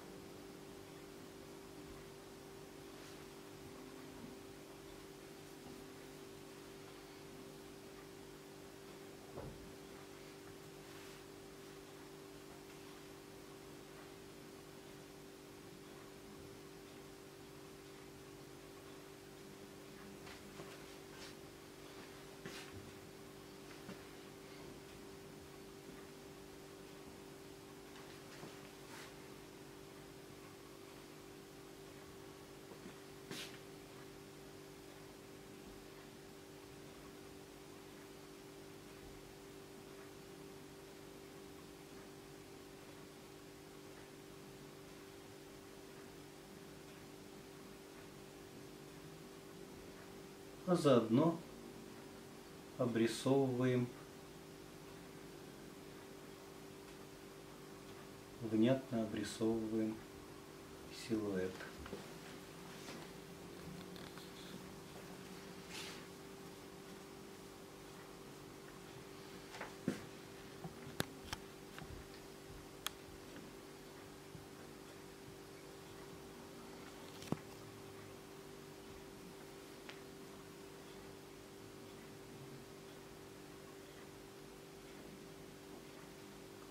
Голубому подмешивается легкая желтота света.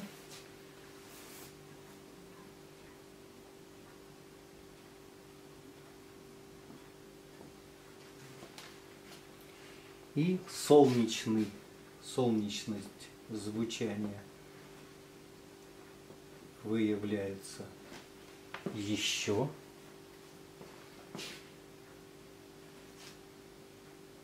из-под теневой свет.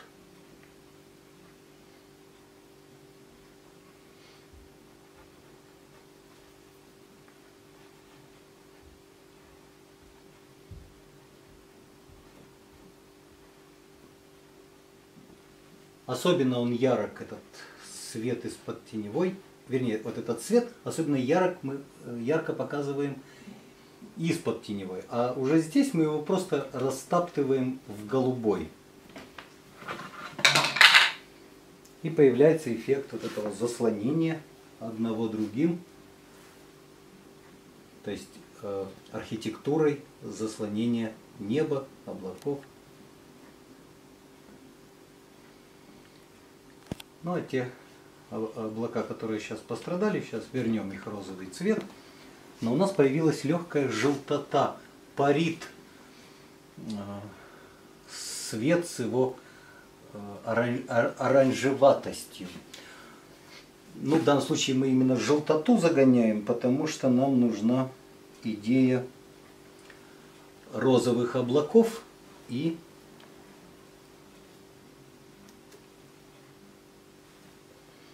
и желтоватого света.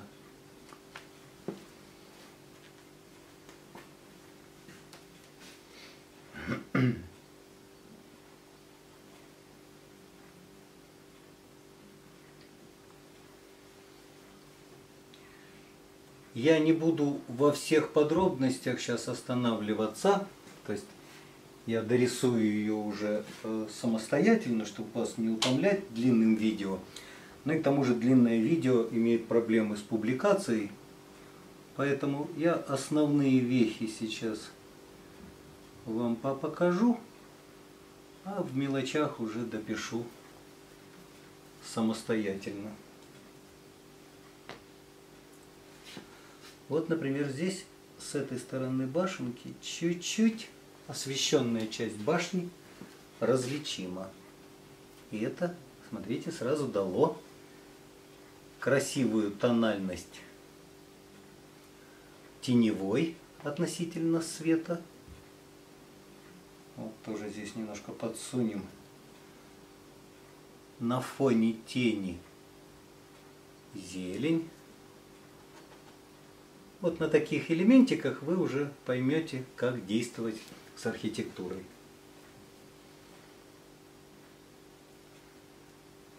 Вот, например, прямо в кашу этой краски, которую мы накидали густо, архитектурные нюансики забрасываем. Смотрите, какой звонкий мазок я поставил на уголочек. Это выгодный ход. Всякие уголочки любят акцентную, подрезку.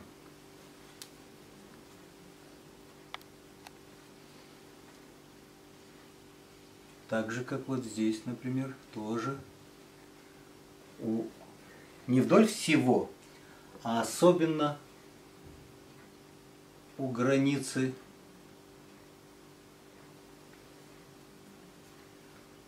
у границы с темным куполом.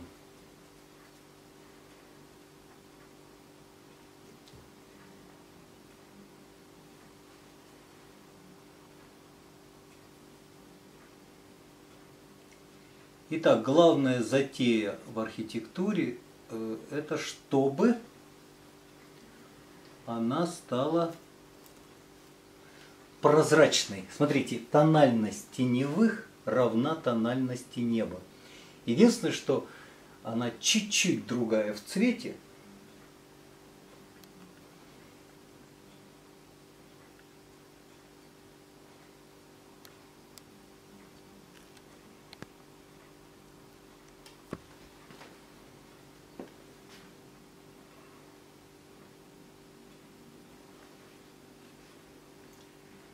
Чуть-чуть другая в цвете.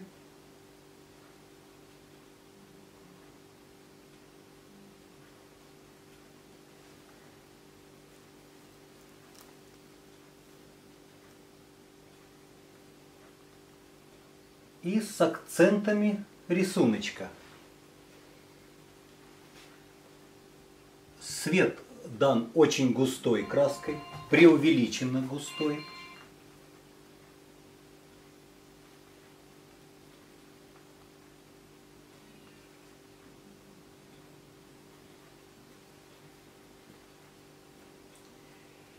Еще, конечно, хорошо бы показать вам, как должен, должны выглядеть кресты.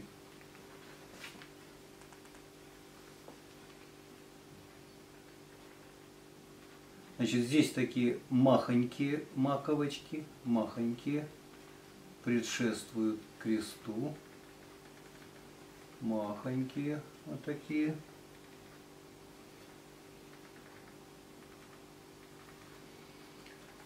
А сами кресты они, конечно, желтые, но они в контражуре к свету, то есть их освещает только с этой стороны свет. Поэтому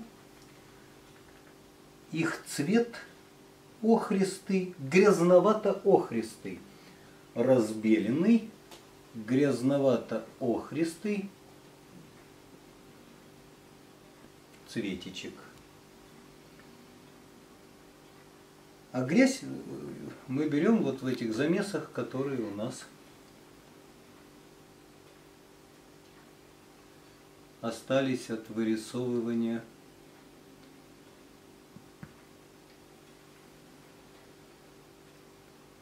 архитектуры внизу. Архитектуры и всего, что там внизу. Вот они кресты.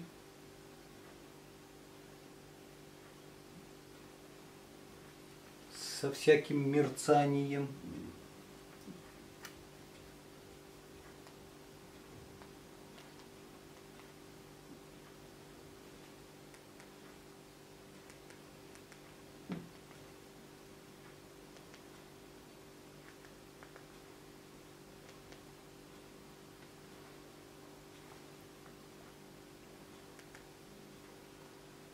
То есть их не надо рисовать как четкую геометрию, их надо нарисовать как мерцательное, нечто мерцательное.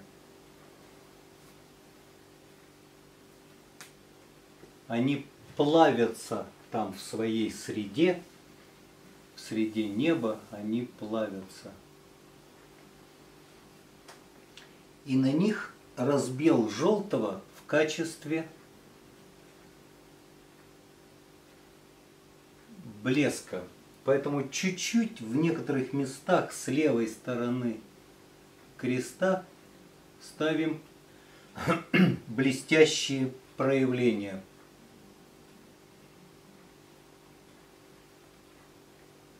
Разбелом желтого. Так, вот такое содержание Помните, акцентное должно быть решение архитектуры.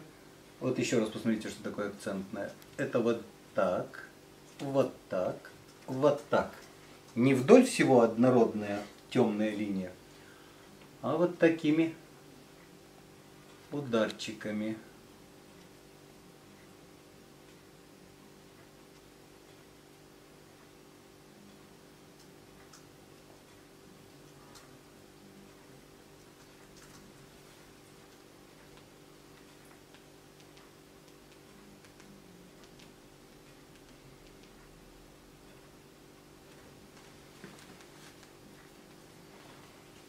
И свет на маковочках тоже обязательно предъявим.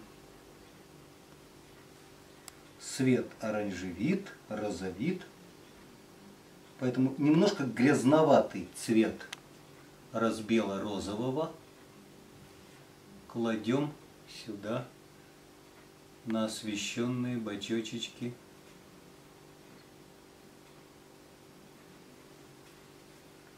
на освещенные бачочечки. И чуть-чуть адаптируем среду.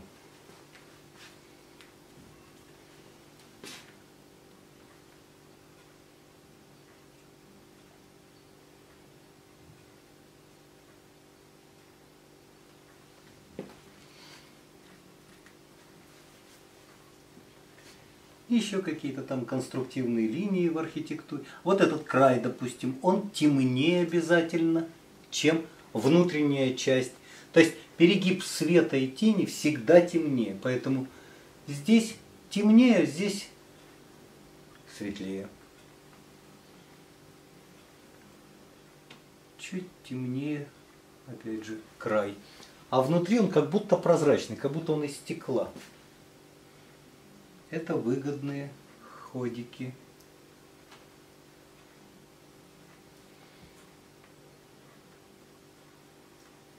Так, здесь у нас густой свет.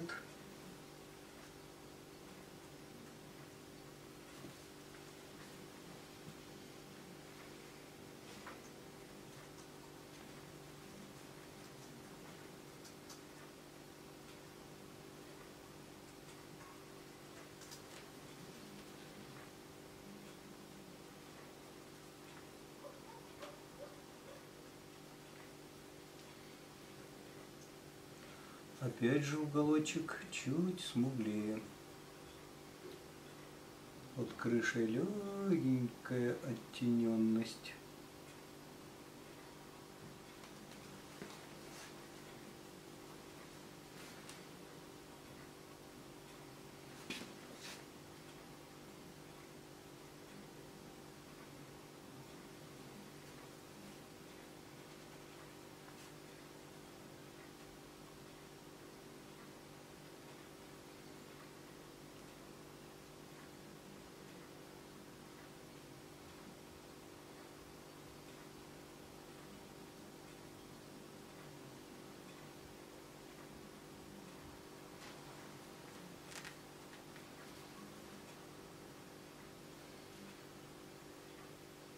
Не вдоль всей линии делаем одинаково жесткий темный край.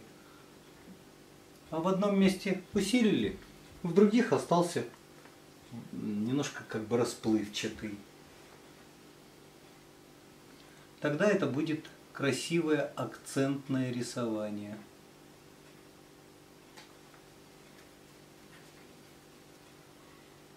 Там не видно э, свет, вот как здесь на, на крае был виден, той части. Но мы чуть-чуть его обозначим, как бы клубление света над светлой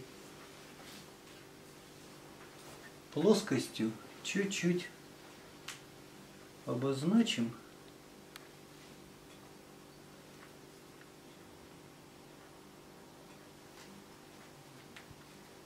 И уже э, различимо квадратность, не, не плоский характер, а квадрат, квадратновидный, кубовидный характер различим.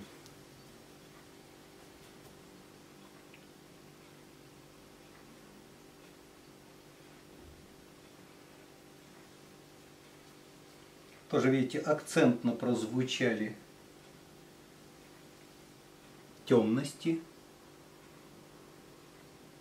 Чуть-чуть свет упал на бочочек.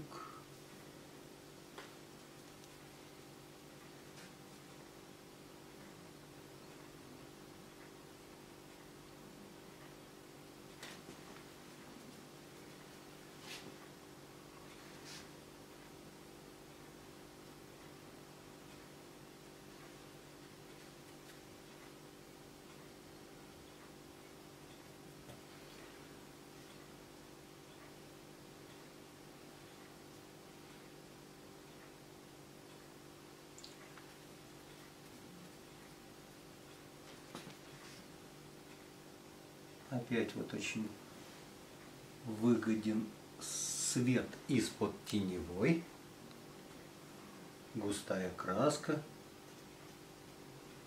Светлые партии любят густую краску.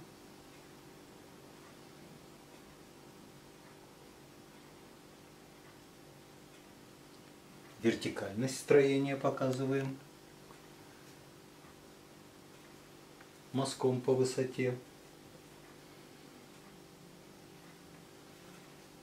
Какие-то бойнички.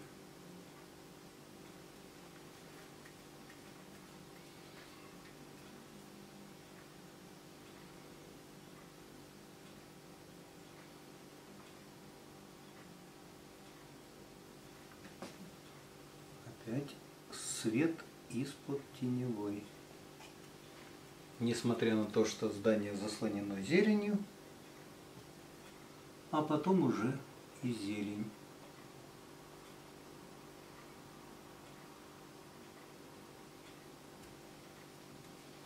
Но свет из-под теневой создает эффект пространства.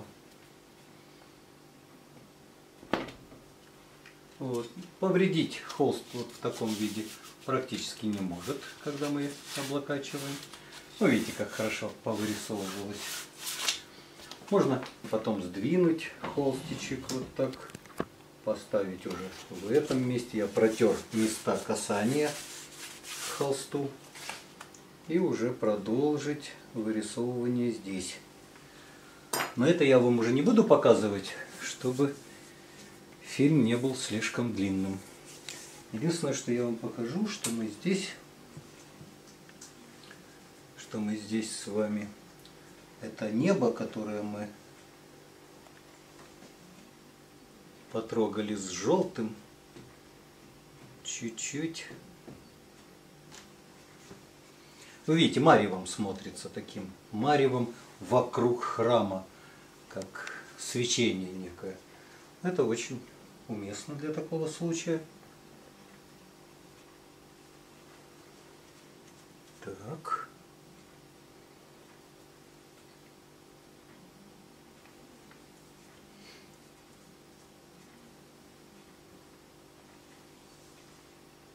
На крыше светичек. Стволики возвращаем.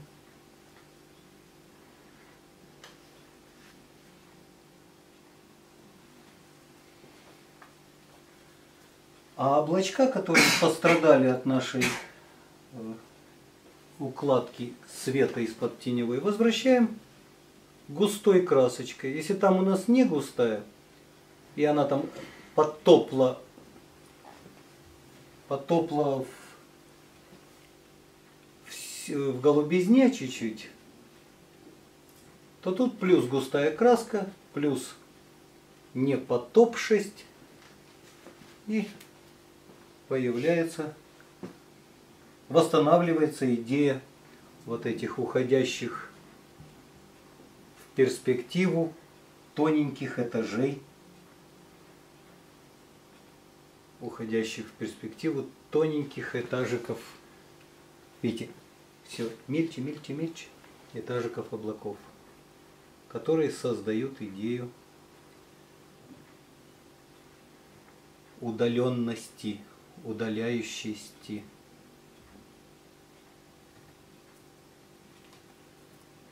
Вот, вы увидите уже теперь только конечный продукт для того, чтобы вам ориентироваться на него, когда вы выйдете на, плен, на пленерчик. Итак, вы видите, что если вы там были, то вы можете по, по воспоминанию на следующий день продолжить уже писать э, как, как бы дома, да, сделав фотографию.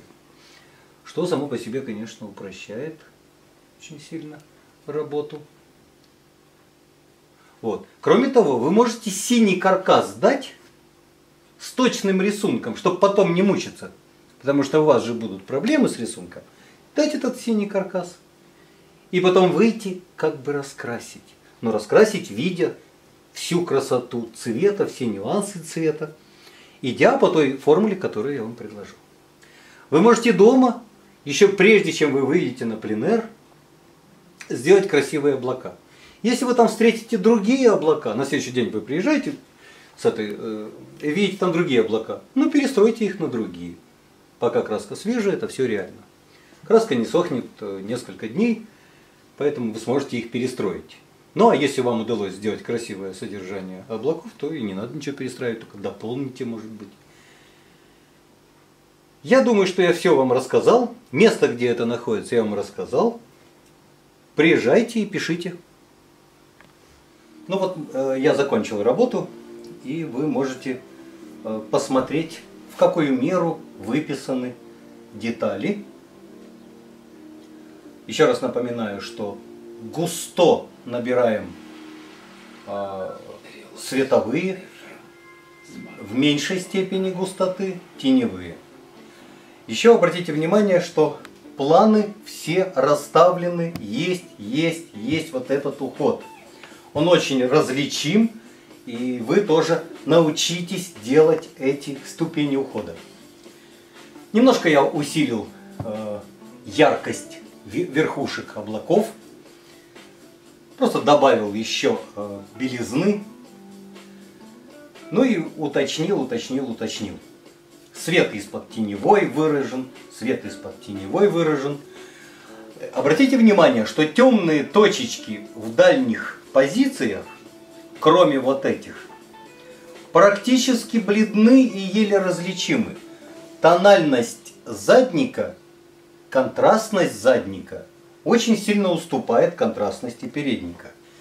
И, в общем-то, контрасты на переднем плане, хотя здесь все так размыто, но видите, вот эти основные контрасты произошли, они вытягивают это сюда, контраст белого вытягивает сюда, а контраст задника очень ограничен. Даже эти куполочечки темные, они немножко в мареве, они немножко растворяются в пространстве.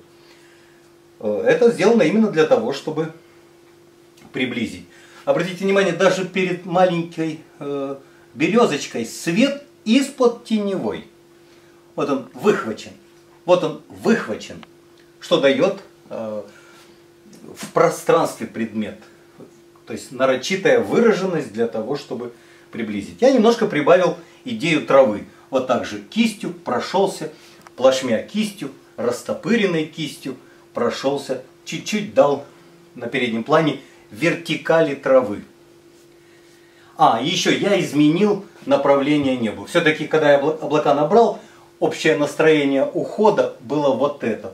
А вначале, вы помните, я набрал по вот этой траектории. То есть траектория ухода теперь вот такая.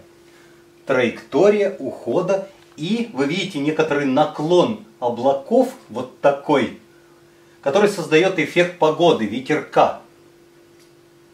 Вот эти вещи, не знаю, может я еще какие-то вещи не проговорил. А, синичка на дальнике, там всякие домики, шмомики, но я их не стал особенно обращать на них внимание, оставил такую синеву. Ну и синева, вы видите, везде чуть-чуть помигивает, помигивает. Вот это весеннее состояние, вот эти тени голубые, они все здесь уместны.